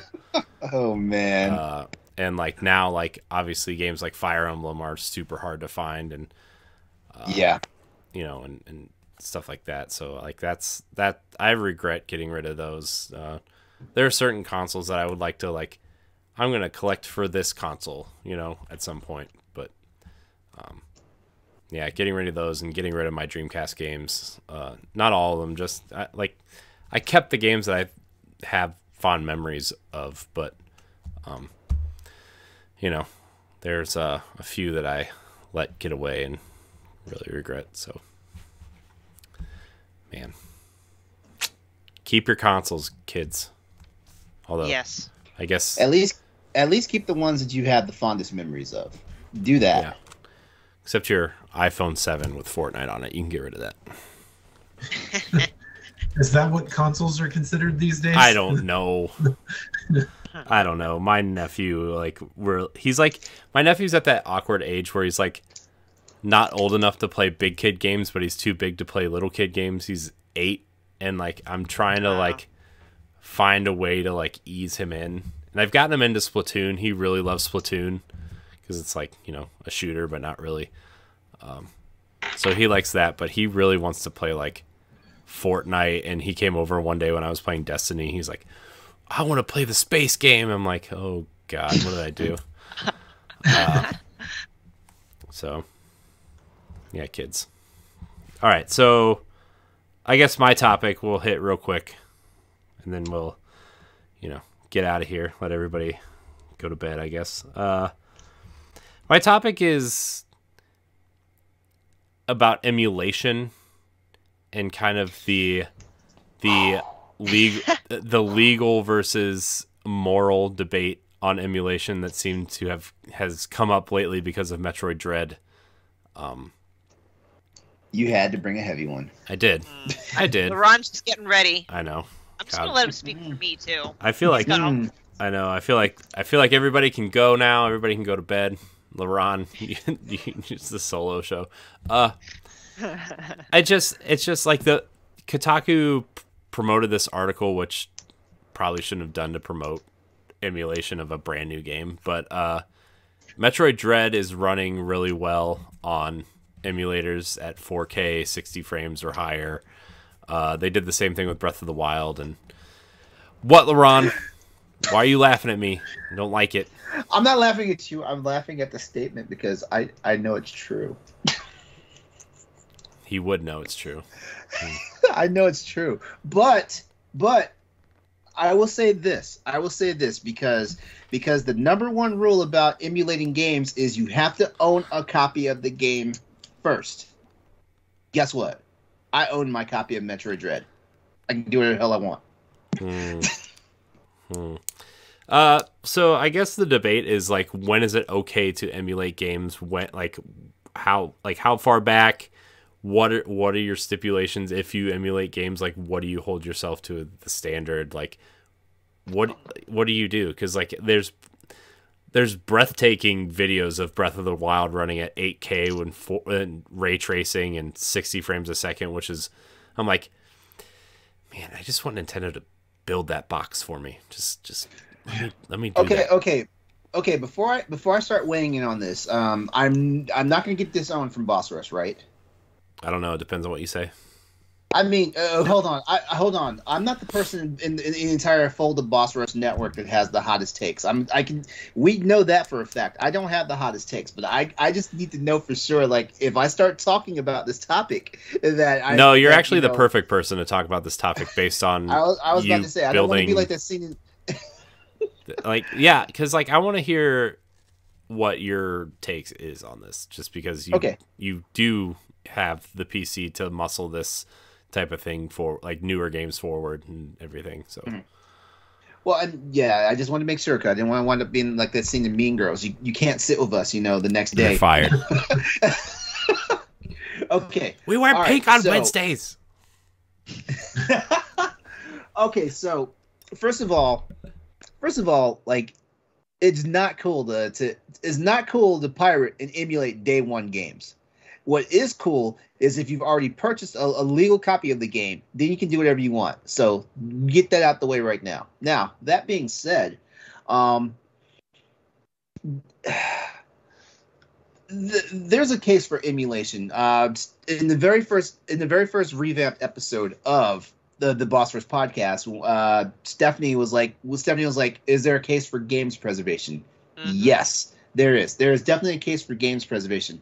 There's also there's also a case there's also a case for people who like who like do tinker with technology and stuff like that. A lot of people a lot of people honestly are just building emulators and stuff so that in the future as we get further down the line the switch is going to be an obsolete system one day. The ps5 the ps4 the xbox series x all that stuff they're going to be obsolete systems. And there's going to be a point where just like with just like with our phones our tablets our computers and stuff like that the operating mm-hmm. systems hit end of life and then you can't use them anymore and they wind up being unsupported you know and stuff like that. And we just have to we either have to move on or we have to hang on to whatever we have until it dies and stuff like that. Before you move on with this LeRon, i do want to say like this is metroid well maybe not metroid isn't the first title but recent titles on switch is the first time i've actually felt like nintendo themselves are pushing games past the hardware limits of this thing. Where like you know metroid runs great but like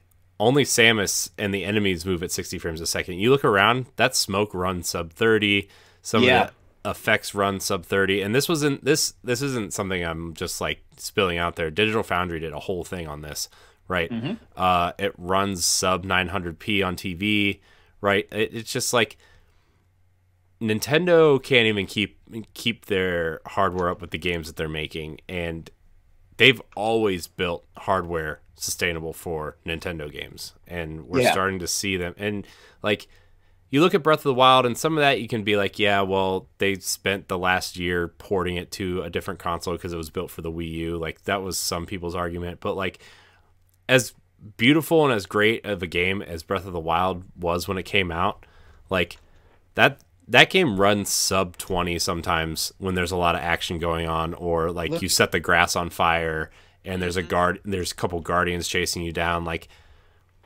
it's Look I- at Hyrule Warriors: Age of Calamity. yeah Yeah. You know, like you, you know, you know, you know what's crazy is that you know it's been a long time since we've seen it. The last video game system I remember seeing like slowdown was actually a Nintendo system. Uh, the Nintendo, the Super Nintendo was the last system that I remember we dealt with slowdown because things Mhm. were just going on and there was too many frames for the for the for the process to keep up. Mhm. So it's it's crazy that Nintendo has come full circle. They're back to this crap now Mhm. you know um in my review i wrote that one in, in my review i wrote that you know like um like the like the age well the the power of the hardware is shown off in metroid dread because it's a beautiful game It It is. my god It's- like it's 20, Ninten- tw- I would argue it's Switch's best looking game outside of maybe maybe Mario Kart, which technically is a Wii U game, but like Metroid Yeah. Dread is Nintendo's best looking game. Yeah but i mean but i mean geez like 23 second loading times you know you know especially when especially when you just got through like either you're getting clobbered or you're chasing something and you have to hit a you have to hit a, a, a damn near a 30 second loading sequence to get to the next section of the game that Yeah, but I feel like I feel like that stands out now more than ever because of the of the SSDs Because and the new consoles and Oh, yeah, yeah. PCs, right? Oh Like, yeah, no, no doubt. But you know, one of the things that kind of bothered that kind of bothered me is like I'm playing on the digital. I played the digital version of the game. Like the load time should should be should should be somewhat decreased, you know, compared to the compared to the physical Mhm. copies. But when I did the research, the physical copies had just as long. You know, you know, it was almost criminal. And, you know, but that's just uh, you know like this is the stuff right there like you know like and this this comes back to what i was saying about what people are trying to do with technology and stuff when it comes to emulators and stuff like that they're trying to make for in the case of these these games there's three there's three reasons why. There's three reasons why. Number, uh, first reason why is because they're people are not 100% sure that they are they want to spend the money on the game. So it's always easy like and that's where emulators kind of do its thing. Like it's a try before you buy type of thing and it's always encouraged that if you actually like the game go back and buy it. There are a lot of people who actually follow that rule. They emulate a game they see they see what they want and then they're like okay i'm going to go out and buy this game you know I said some. I didn't say everybody does that because we always we all know that some people are just cheap and don't want to spend money and stuff like that. Uh, the second reason about emulators is the fact that you know sometimes sometimes people just don't have the commitment. And when I say they don't have the commitment, they don't have the commitment to see something all the way through. They just want a taste of it and stuff like that, you know. Um, and emulators like fits that void, you know. And for the most part, you know, like most people, a lot of people shoot. Like a lot of regular gamers don't beat games they start. Like, like I can't even tell you how many games are on my PS4 or my or my Steam library that I've started and never finished and never thought about coming back to and stuff like that. Uh, but the third, but the third reason is is because people like being able to play, you know, the games that they that they have the biggest fond, fondest memories of, and that usually reaches back into the library. Um, I hmm. I don't want to I don't want to make this sound bad, but the reason why a lot of people are upset about the the Nintendo expansion pack is because what they're paying for right now is not what they envision themselves getting. That's what a lot of the main complaints are. The price the price just doesn't match what they're envisioning right now, but I'm sure as this thing rolls out, like it'll be good. But one thing is like one thing for me, for example, like you know, like the Nintendo 64 library on the expansion pack, Nintendo 64 is not my favorite system, so like I don't really, I'm not really moved by this. But Sega Genesis would have moved the needle for me. The only problem is, is that we have to weed through like, you have to weed through a bunch of Sega Genesis games to find the ones you want to play. So there's also that thing, and that's where emulation comes. People can get exactly what they want and do whatever they want, you know, stuff like that. Mhm. Um, Plus, like emulation, especially like that 16-bit and and 32, 64-bit era, like licensing is a nightmare, right? And Yeah. you're never gonna Yeah. see any of these games ever again, right? Like there's so one of my favorite franchises, especially at that era, was is TMNT, right?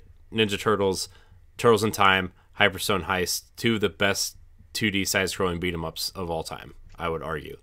Uh, it's great that we're getting a new one, right? In in like six months or whatever, but you're never going to see Turtles in Time or Hyperstone Heist in their original form ever again because of how many license holders there are, how many publishers are involved, how many, you know, you have you have the comic license, you have the cartoon license, you have the uh Konami publishing license. You now Nickelodeon owns the license, so you have to get them involved, right? Like there's so many different people you have to get involved to the point where it's like to even even if you were to sell this game outright, it would probably cost like twenty five or thirty dollars because of all the licensing fees you have to pay for and the music license, right? Like even the music is is licensed out. So um that's another reason I think emulation is like big, especially for games that you will never ever see on a current platform.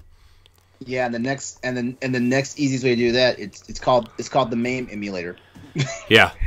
You just find the you find the ROM and there go your memories. Mm-hmm. Yeah. you know, you know, and and don't get me wrong, like like I like I'm really passionate about emulation and stuff like that, but I'm a 46 year old man. Like a lot of the games, a lot of the games that I remember playing as a kid, no one's even heard about or even thought existed, you know, in this day and age now and stuff like that. So and you know, your memories are what it is. Just like we have, just like we have our grandparents to talk about seeing movies like Gone with the Wind, you know, Mhm. for the first time in theaters and stuff like that. There's there's true emotion and memory to that stuff, and you know when that thing is gone, like you know it's missed, and so and so I know we were talking about like the window of when like it's okay to like start emulating games and stuff like that. So I know I kind of got kind of far into the woods on this, uh, but basically emulators emulators are a tool, and when it's used correctly, uh, it's basically there to to give people more nostalgia, more freedom to do what they want, and things like that. Now going back to that, don't be don't don't be pirating and emulating day one games. Don't do that. Don't do that. You know, Mhm. if you know, you know, I can understand if you're trying to pirate and emulate like the Mario 3D All Stars collection because I think I think Nintendo kind of gave everybody the middle finger on that one. I, Well, in, in my plus, honest like, opinion, Plus, like that, what is it? The Sea Cemu Cemu uh, emulator and the Dolphin emulator are are they've made so many good strides in emulating GameCube and Wii and Wii U games on those that it's just like yeah, yeah, at, like yeah, at like this those, point, those, why wouldn't the you? emulator, You know, yeah, the emulation versions are better than than what Nintendo put out themselves and stuff like that. I'm not trying to make Nintendo the bad guy here. Not trying to make Nintendo the bad guy here because God knows, like like like Sony, Sony, Sega, Microsoft, they've all they've all committed this crime to people. You know, in some shape, form, or fashion, when it comes to like mm. to like the whole piracy bit and, and To- things like that. You know? tomorrow tomorrow morning we see a headline: hooded Japanese man comes to LeRon's house. Black man, black man murdered in bedroom by hooded Japanese man with a NES zapper. What are you? What are you, talk, what, are you what are you talking about? It's going to be a case of extraordinary rendition. They're going to take me back to their country to to, to do whatever they want. That's how, how do you think Miyamoto gets his life force? He just kidnaps all the people that emulates his he, games. he kills he kills the Nintendo naysayers. Just Pick- drains their life force. Pikmin's based on a true story. You know- true you story. know, I guarantee I guarantee you the reason why my Nintendo Switch dock acts the hell up is because Nintendo's watching me and they're like, okay, he's ran his mouth a little too long. We're about to make him suffer for a little bit. that's why you can't. That's why they just added Bluetooth so they could hear everything you're saying. So, Uh, LeRon, you said No.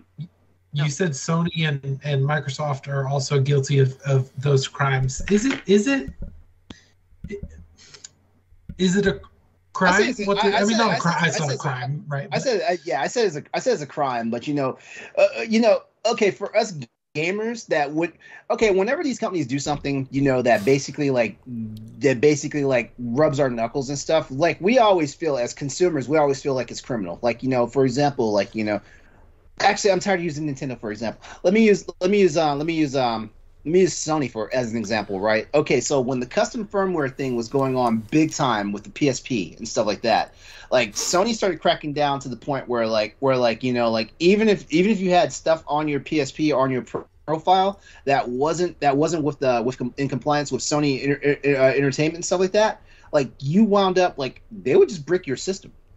You know, it wasn't even that you you would lose access to like your PlayStation privilege and stuff like that. It would just brick your system and stuff like that. Mhm. Like that's kind of egregious in in my opinion, especially if you know if all someone is doing if if they're if they're not actually pirating software, but they're using custom firmware to make the system do something that it wasn't programmed to do, you know, designed to do out the box.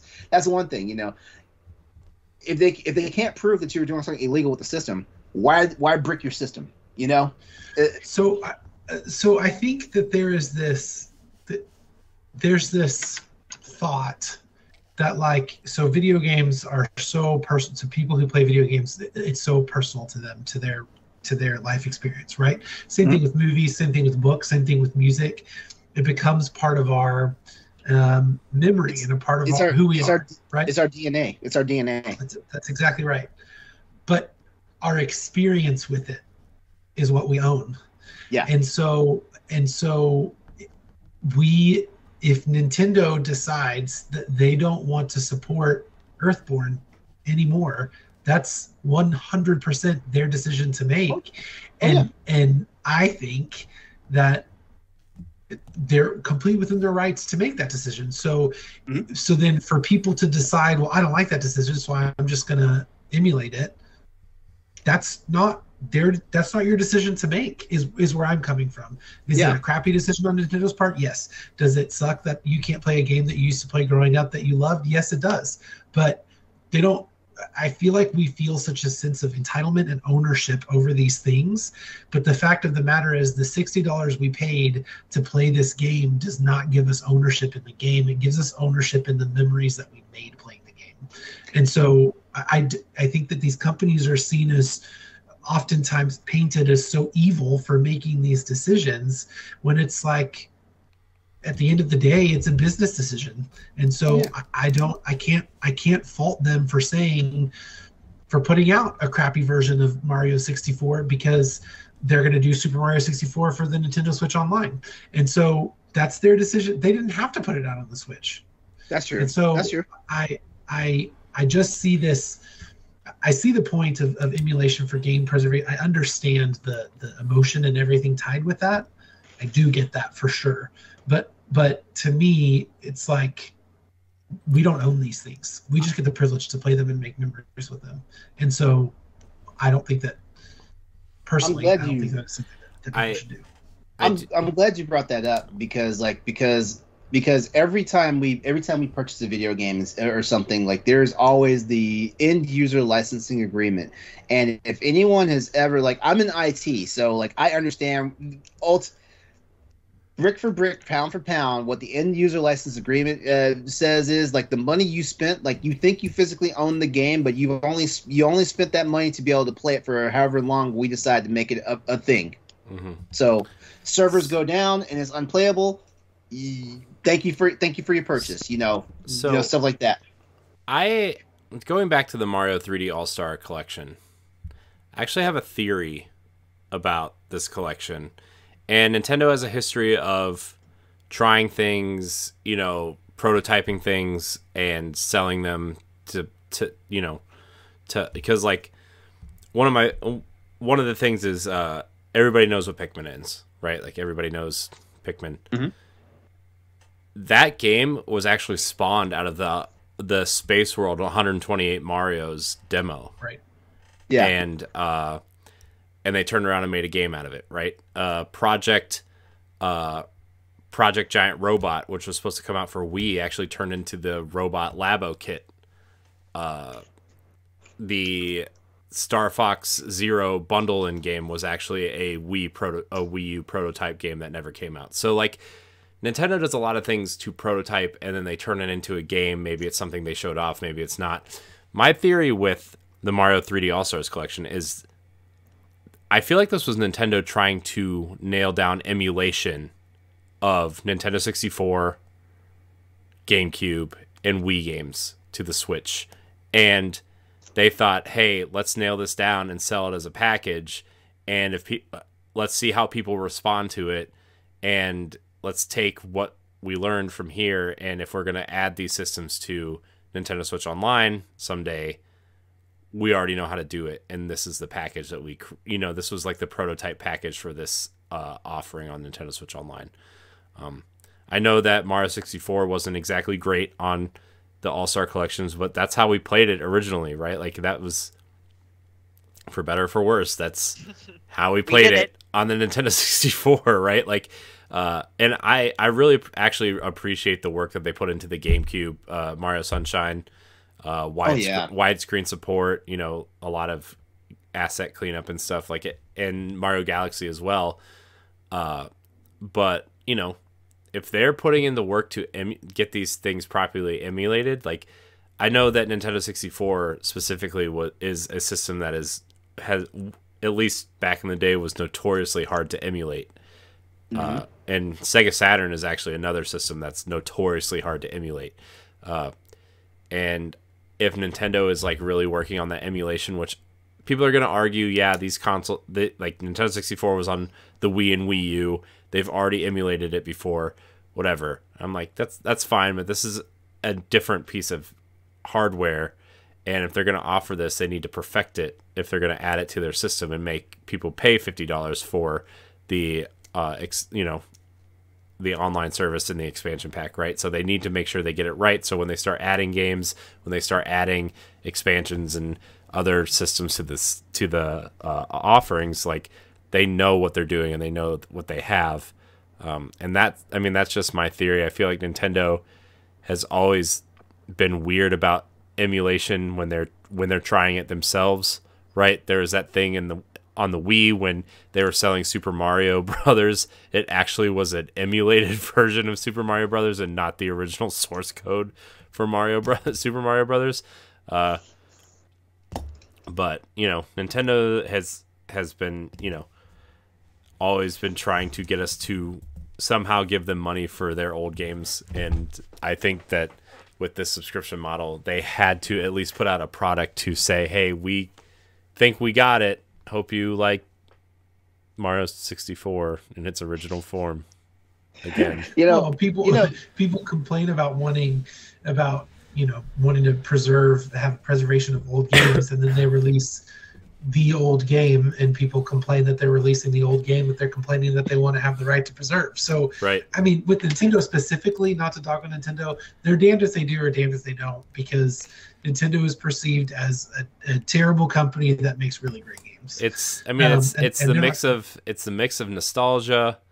actually, plus- I feel like that's. I feel like Microsoft is the is the terrible company that makes good games. Uh, I mean, Nintendo is just like it's the mix of nostalgia mixed with we don't know what to do with our old games, so we're just gonna resell them. Mixed with, you know, the internet. Well, yeah, but people will pay for it. Yeah. I will gladly pay. Well, for yeah, like, Mario to Bros. me- three till the day I die on every single Nintendo Yeah. system that I own. Yeah, like to me, so- and- to me, actually, like you hold, make uh, money. actually, hold, uh, wait. You know what? Super Mario Three. I will only spend money if it's Super Mario Advance Super Mario Brothers Three. Mm. I will not buy the, Get the out. NES version. get I out. will not. No, I will not. they not. changed the physics in that version. It's bad. Oh no no no! It plays it plays like it plays like it's supposed to play. No, it Like, plays. don't- it I- plays. it plays like crap.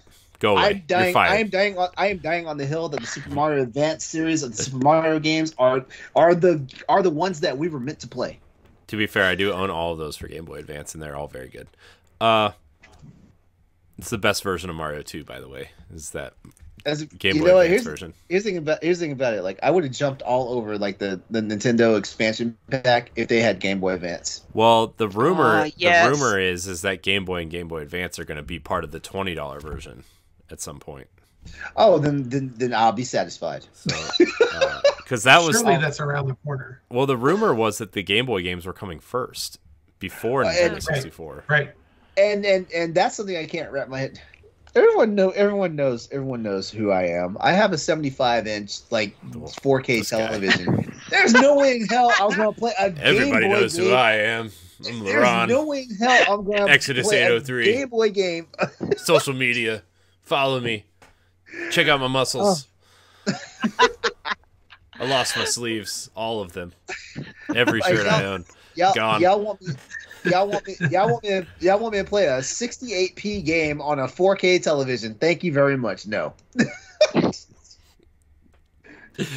Another T-shirt idea. Everybody knows. Everybody.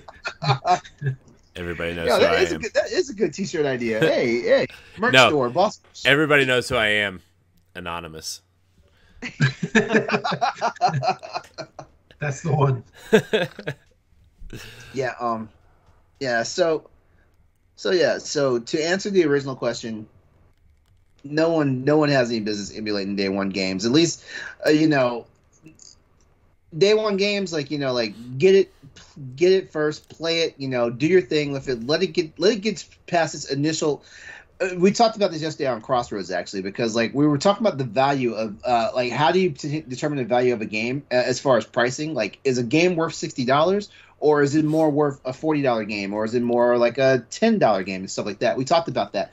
And one of the things and one of the things that factors into pricing is like is like how much how much of a budget the developer spent on it and what they think their turnaround time is they're going to be to make that money. And usually the window for the window for the sales to make that to see if they're going to make that money back is usually the first five months of the game being released mm-hmm. usually.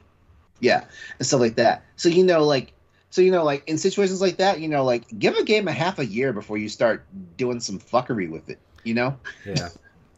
I mean, like a game like a game like Metroid Dread is like it's clearly for the hardcore fans, right? Like it's clearly like you look at you look at Metroid and Super Metroid, It's- and you're like, this is a clear sequel to the NES and Super Nintendo game. Like, you want to hear you want to hear something crazy though metroid dread metroid dread has already outsold the the highest selling metroid game in japan it's already I know it's already outsold the entirety of the 2D series combined.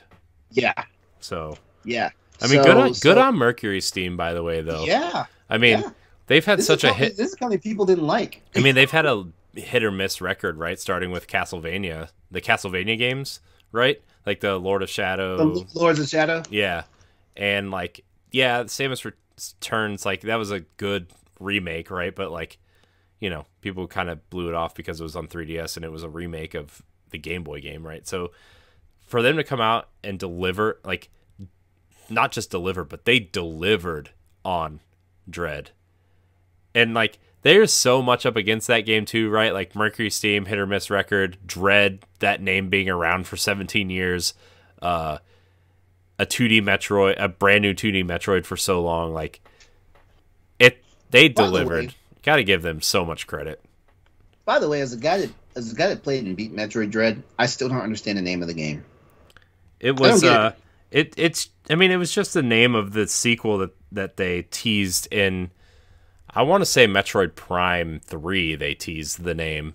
And then it was, it came up on a bunch of lists and like Nintendo Power is like, uh, the next Metroid game, Metroid Dread, is coming to DS at some point, and then it just never came out. So, I mean, I don't know what the name means. It was just, it's a cool name. it, mean- it, it didn't it didn't scare me at all like i mean I It do. didn't scare you at all. The enemy sections didn't get didn't make you Oh tense my gosh, at dude, all. that, that no the no no enemies suck. no no Although, no, yeah exactly I have I have figured out how to counter them about half the time. Yeah, me too. My my record for countering them has gotten a lot better. yeah, But uh, but no, like the um, like, well, see, the reason why the Emmys didn't scare me is because your very first Emmy encounter, the game told you you have an opportunity to escape an Emmy Uh-huh. attack. You had an opportunity, so I was like, so instead of me just being like, oh, I'm just gonna run from these suckers every time I see them, I was always try. If I got caught, I was always trying to counter them. yeah. so I, it uh, never it never scared it, it never scared me and the, and then like the game over scene. Like getting a game over from an Emmy encounter you, you- when you continue it didn't even send you that far back no. you know Yeah. so it was like it's like yeah like I, I lost like 15 seconds off my I playtime do I do have to uh, say that I still don't know what button the counter button is. I just slam them every single button on the controller at the same time. I, just I forget works. each time. Yeah. So. Um, it's the X it's the X button I Oh, is it? to- I had to look I I I slam But- every single button on the on the controller. okay but but here but here's the thing because I'm not sure if I told you guys this the last time I talked about Dread uh depending on depending on how it grabs you if it grabs you from the left side or the right side there's two different windows there's two different timing windows for how you break it i've gotten i've gotten pro at breaking an enemy encounter if it grabs me from the right i've gotten pro at that Well, there's the one Uh, where it- it like grabs you and holds you down, and then there's one where it like picks you up. I don't Yeah. know if that's Emmy specific or if that's just like, hey, this is where we caught you, type thing. No, no, it's it's it's how they catch you. It's how you catch you. There's four different there's four different animations for how they catch you. Hmm. Um, and then, and there's and for each animation, there's two different ways to break it. Well, two different timing windows, I should say, because you got the timing window. The first timing window is when is when it is when it try is when the arm tries to like grab you and pin you. The second one is when it tries to like basically spike you. Yeah. Okay. Well, there you go. Anybody else have anything to say about emulation before we uh kind of wrap up here? No. I don't. Don't emulate games unless they're old or unavailable. That's that's it. So, Just don't be a jerk. yeah. Don't be a jerk. God. For real. For real. That easy. Just Or- a good at rule least- of thumb for all things, right? Or Yeah. at least Fair. or at least follow the rules of convention that I said about when it comes to emulation. Mm. You have to already own a copy of the game before you can start doing whatever you want to with it. Mm. But you know, what what what do I know? I'm just a guy that writes reviews, hosts a podcast, and, and you know, tries to play scary games during the month of October and fails at it. You failed miserably. 11 more days. Anyways, I want to thank everybody for watching and or listening. Mark, thank you for joining us tonight. I, Yeah, this was awesome. Yeah, had a great time. yeah. Uh, you're welcome back anytime. Obviously, I want to play your sound effect game, so you have to come back at least one more time. Yeah. We loved having you. Yeah. Uh, Thanks for having me. where can Wonderful people talks. Where can people find you? Um, on Twitter, uh, my Twitter handle is except in Pereira, which is my last name, which is not easy to find, but because it's difficult to spell. But it, my, you spell my last name P E R E I R A, and so it's you know I before E, except in Pereira because it's E I. Hmm. I thought I was super clever when I came up with it, but it's way too much to explain. Look, we all think we're clever when we come up with these Twitter names, and then you oh, look at Sure. it six months later, and you're like, "What was I thinking?" And then the one you really want is gone. So, yep. Right. So, But yeah, well- that's where you can find me. well, you do a great job writing and heading up the entertainment side Thanks. recently, and and it's, I like your marathon movie movie reviews. Just check it out on BossRush.net. Um, appreciate your time, Stephanie. Where can we find you? Yeah, I was just gonna scold Mark. Like, yeah, you should really, you know, promote yourself. Mark's got great articles up on the site. He writes wonderful news, banter pieces, um, spearheading entertainment. So catch his stuff on the site as well as LeRon's re- review of Metroid Dread. He did a fantastic job. Uh, you can find me on Twitter at Klima. Uh, oh crap! I'm so tired. I can't even remember what order my my Twitter handle is. All of a sudden, my eyes twitching. That's how tired I am at Klimov, K L I M O V underscore author. I also write uh, for Boss Rush as well. Check out our website. LeRon. Uh, as you know what, I'll make it real easy for you. Exodus eight zero three, E X O D U S eight zero three. That's my that's my social media handle. That's my Twitch and YouTube channels. That's also my gamer tags on the various platforms I play and stuff like that. Just remember that you're good to go. Twitch.tv slash Exodus eight zero three Tuesday nights at eight p.m. Eastern Standard Time for Crossroads PlayStation Podcast, and you guys already know I'm here Wednesday nights for the Boss Rush Podcast. Nice. You can find me at I am Corey in HD on Twitter and Instagram. You can find me hosting uh, Arsenal X, the Xbox podcast. You can find me popping in and out of uh, Nintendo Power Block. Uh, you can find all of our content on bossrush.net. Remember to like, subscribe, share, rate, and review wherever you consume our show. And until next time, we love you. Oh, oh, hold on. oh hold on. my Before- gosh. before we before we before we go before we go rest in peace to Chris Ayres. Uh you may you may or may not know that name but you definitely know who he is. That was the voice of frieza for dragon ball super. Oh, he passed away. R.I.P. rest in peace. Goodbye, everybody. so long. So long. Take care of your loved Ciao. ones